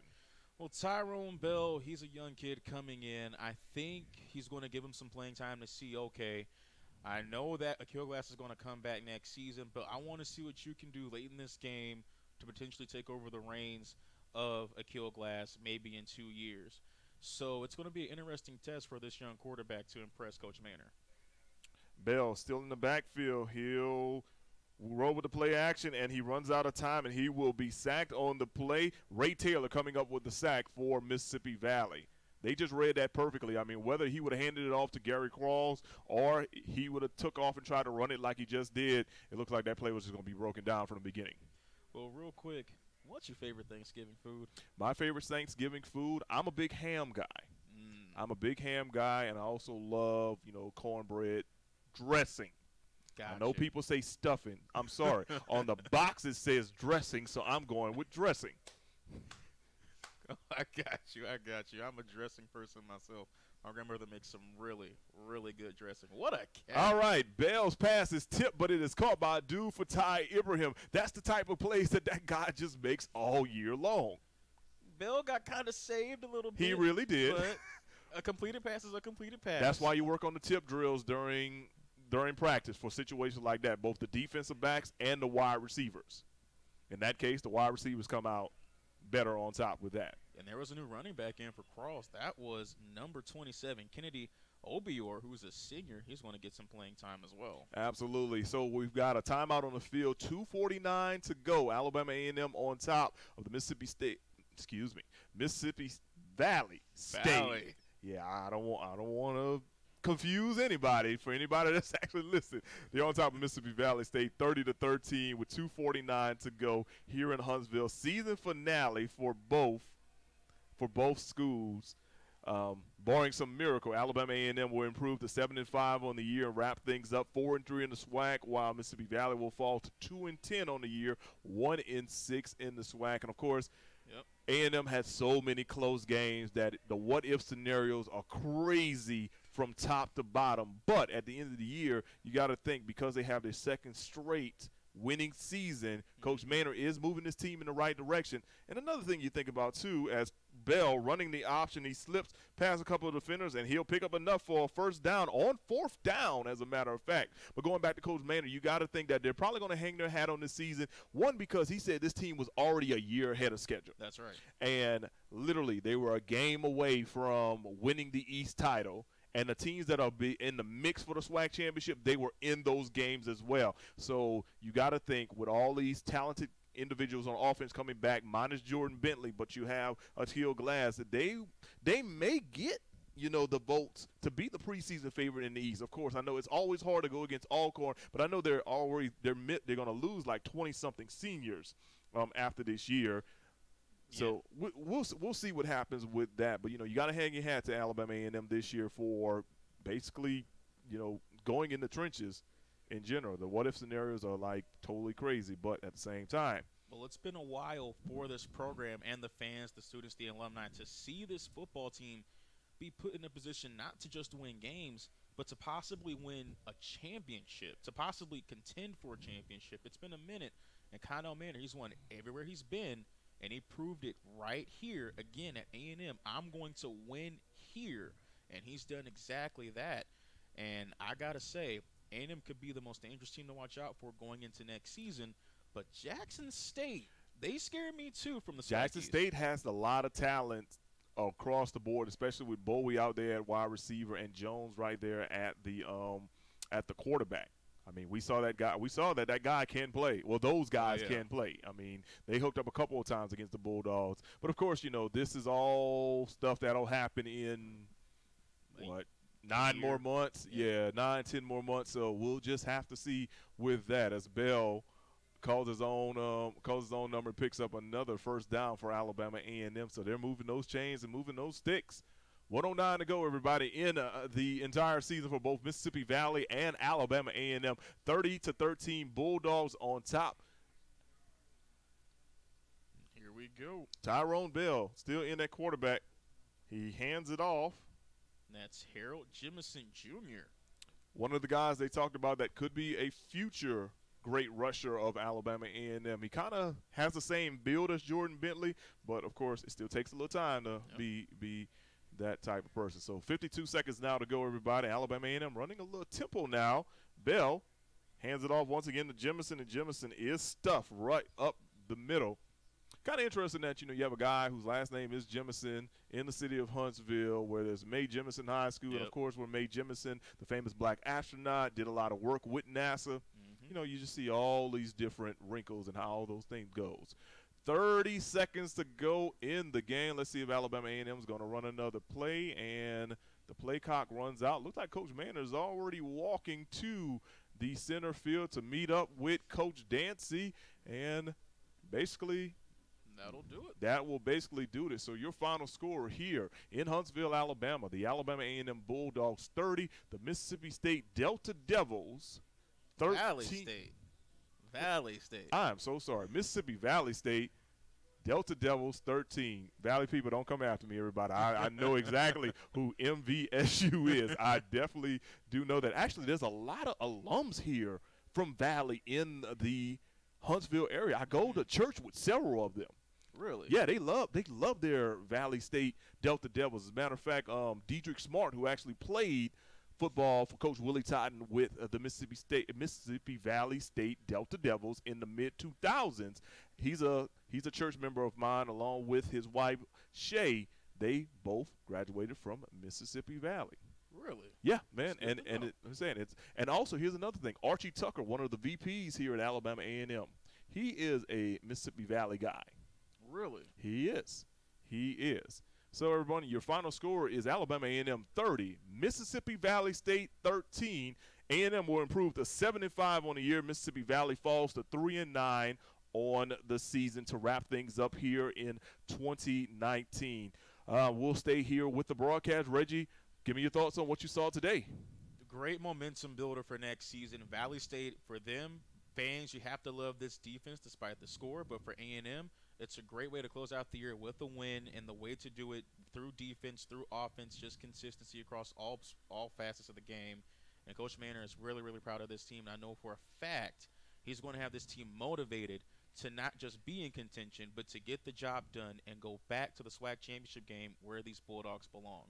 Alabama A&M has not been to the SWAC championship game since 2011, 2012, one of those two years. So it has been a while. So we shall see. Another thing too, it was senior day. We saw a guy like Yep. Jordan Bentley in his fantastic career with a standout performance today on the ground. I'm trying to get my stats going with Bentley. I'll be able to give you final stats on Bentley in just a second. But what did you think about Bentley's last go going today, especially with him setting a single season scoring record?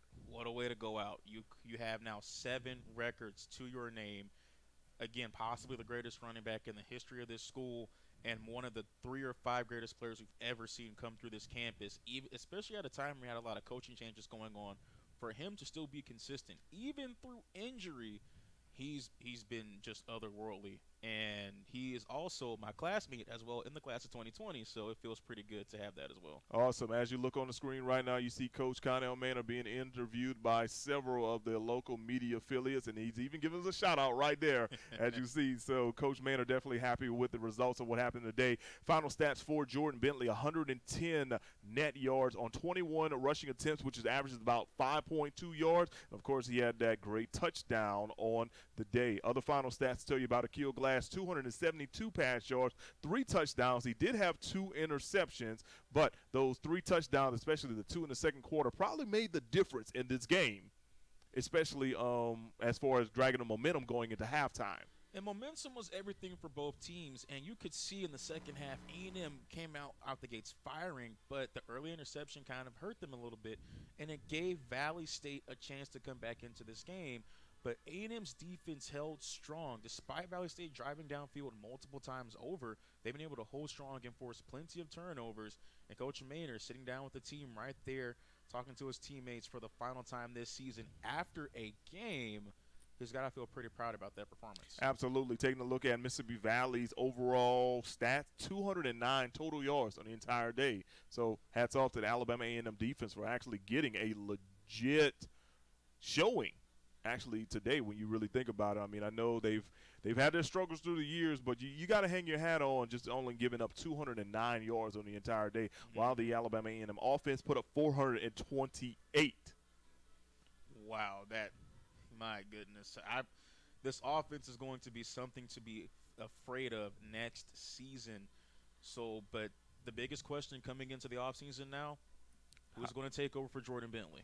Yeah, who's going to take over for Jordan Bentley? You don't replace a guy like Jordan Bentley. You try to develop someone to take the reins and eventually work them into a role of what Jordan Bentley had. I mean, he was a bell cow for this program the past four years, came in under Coach James Spady, and then he flourished under Coach Connell Maynor. And you got to think that this young man is off to great things. Um, we did talk to him earlier this week at the press conference. He's still 50 50 on what he wants to do future wise. Um, okay because honestly, I think he can get a Senior Bowl invite. I, I, think he has the tools to get a Senior Bowl invite. Now, whether he wants it or not, I think is a big question because, of course, he's about to graduate in civil engineering and – hey, we're in Huntsville. You know, if you if you got an engineering degree and you're smart, you're probably going to get a job. So we don't know if he wants to start that part of his life yet, or if he wants to actually roll with football. Whatever it is, we know that up to this point, he has put blood, sweat, and tears into a program that has turned around, especially through his latter part of his year. And you're talking about a guy who was in Guntersville, who was doing great things out there, actually – drew interest from Auburn. Coach Gus Malzahn liked what he saw from him, but apparently he wanted to stay closer to home, and Alabama A&M was the perfect spot for him. And through the years, number 23 at first, and then eventually became number one, has been number one. Uh, you know, number one not only in the scorebook, but also number one in the hearts and, and minds of so many Alabama A&M Bulldog fans. That's definitely going to be a guy that a lot of people are going to miss around here think about it. If he went to Auburn, he would have been lost in the likes of Kam Martin, Kamryn Pettway, and so on and so forth. Kerryon Johnson. Kerryon Johnson. So for him to come to A&M was really a great career choice for him as well for his football career. And when you talk about, you know, college, civil engineering, Huntsville, the perfect city for that to be. More and more jobs are coming. Toyota's here now as well.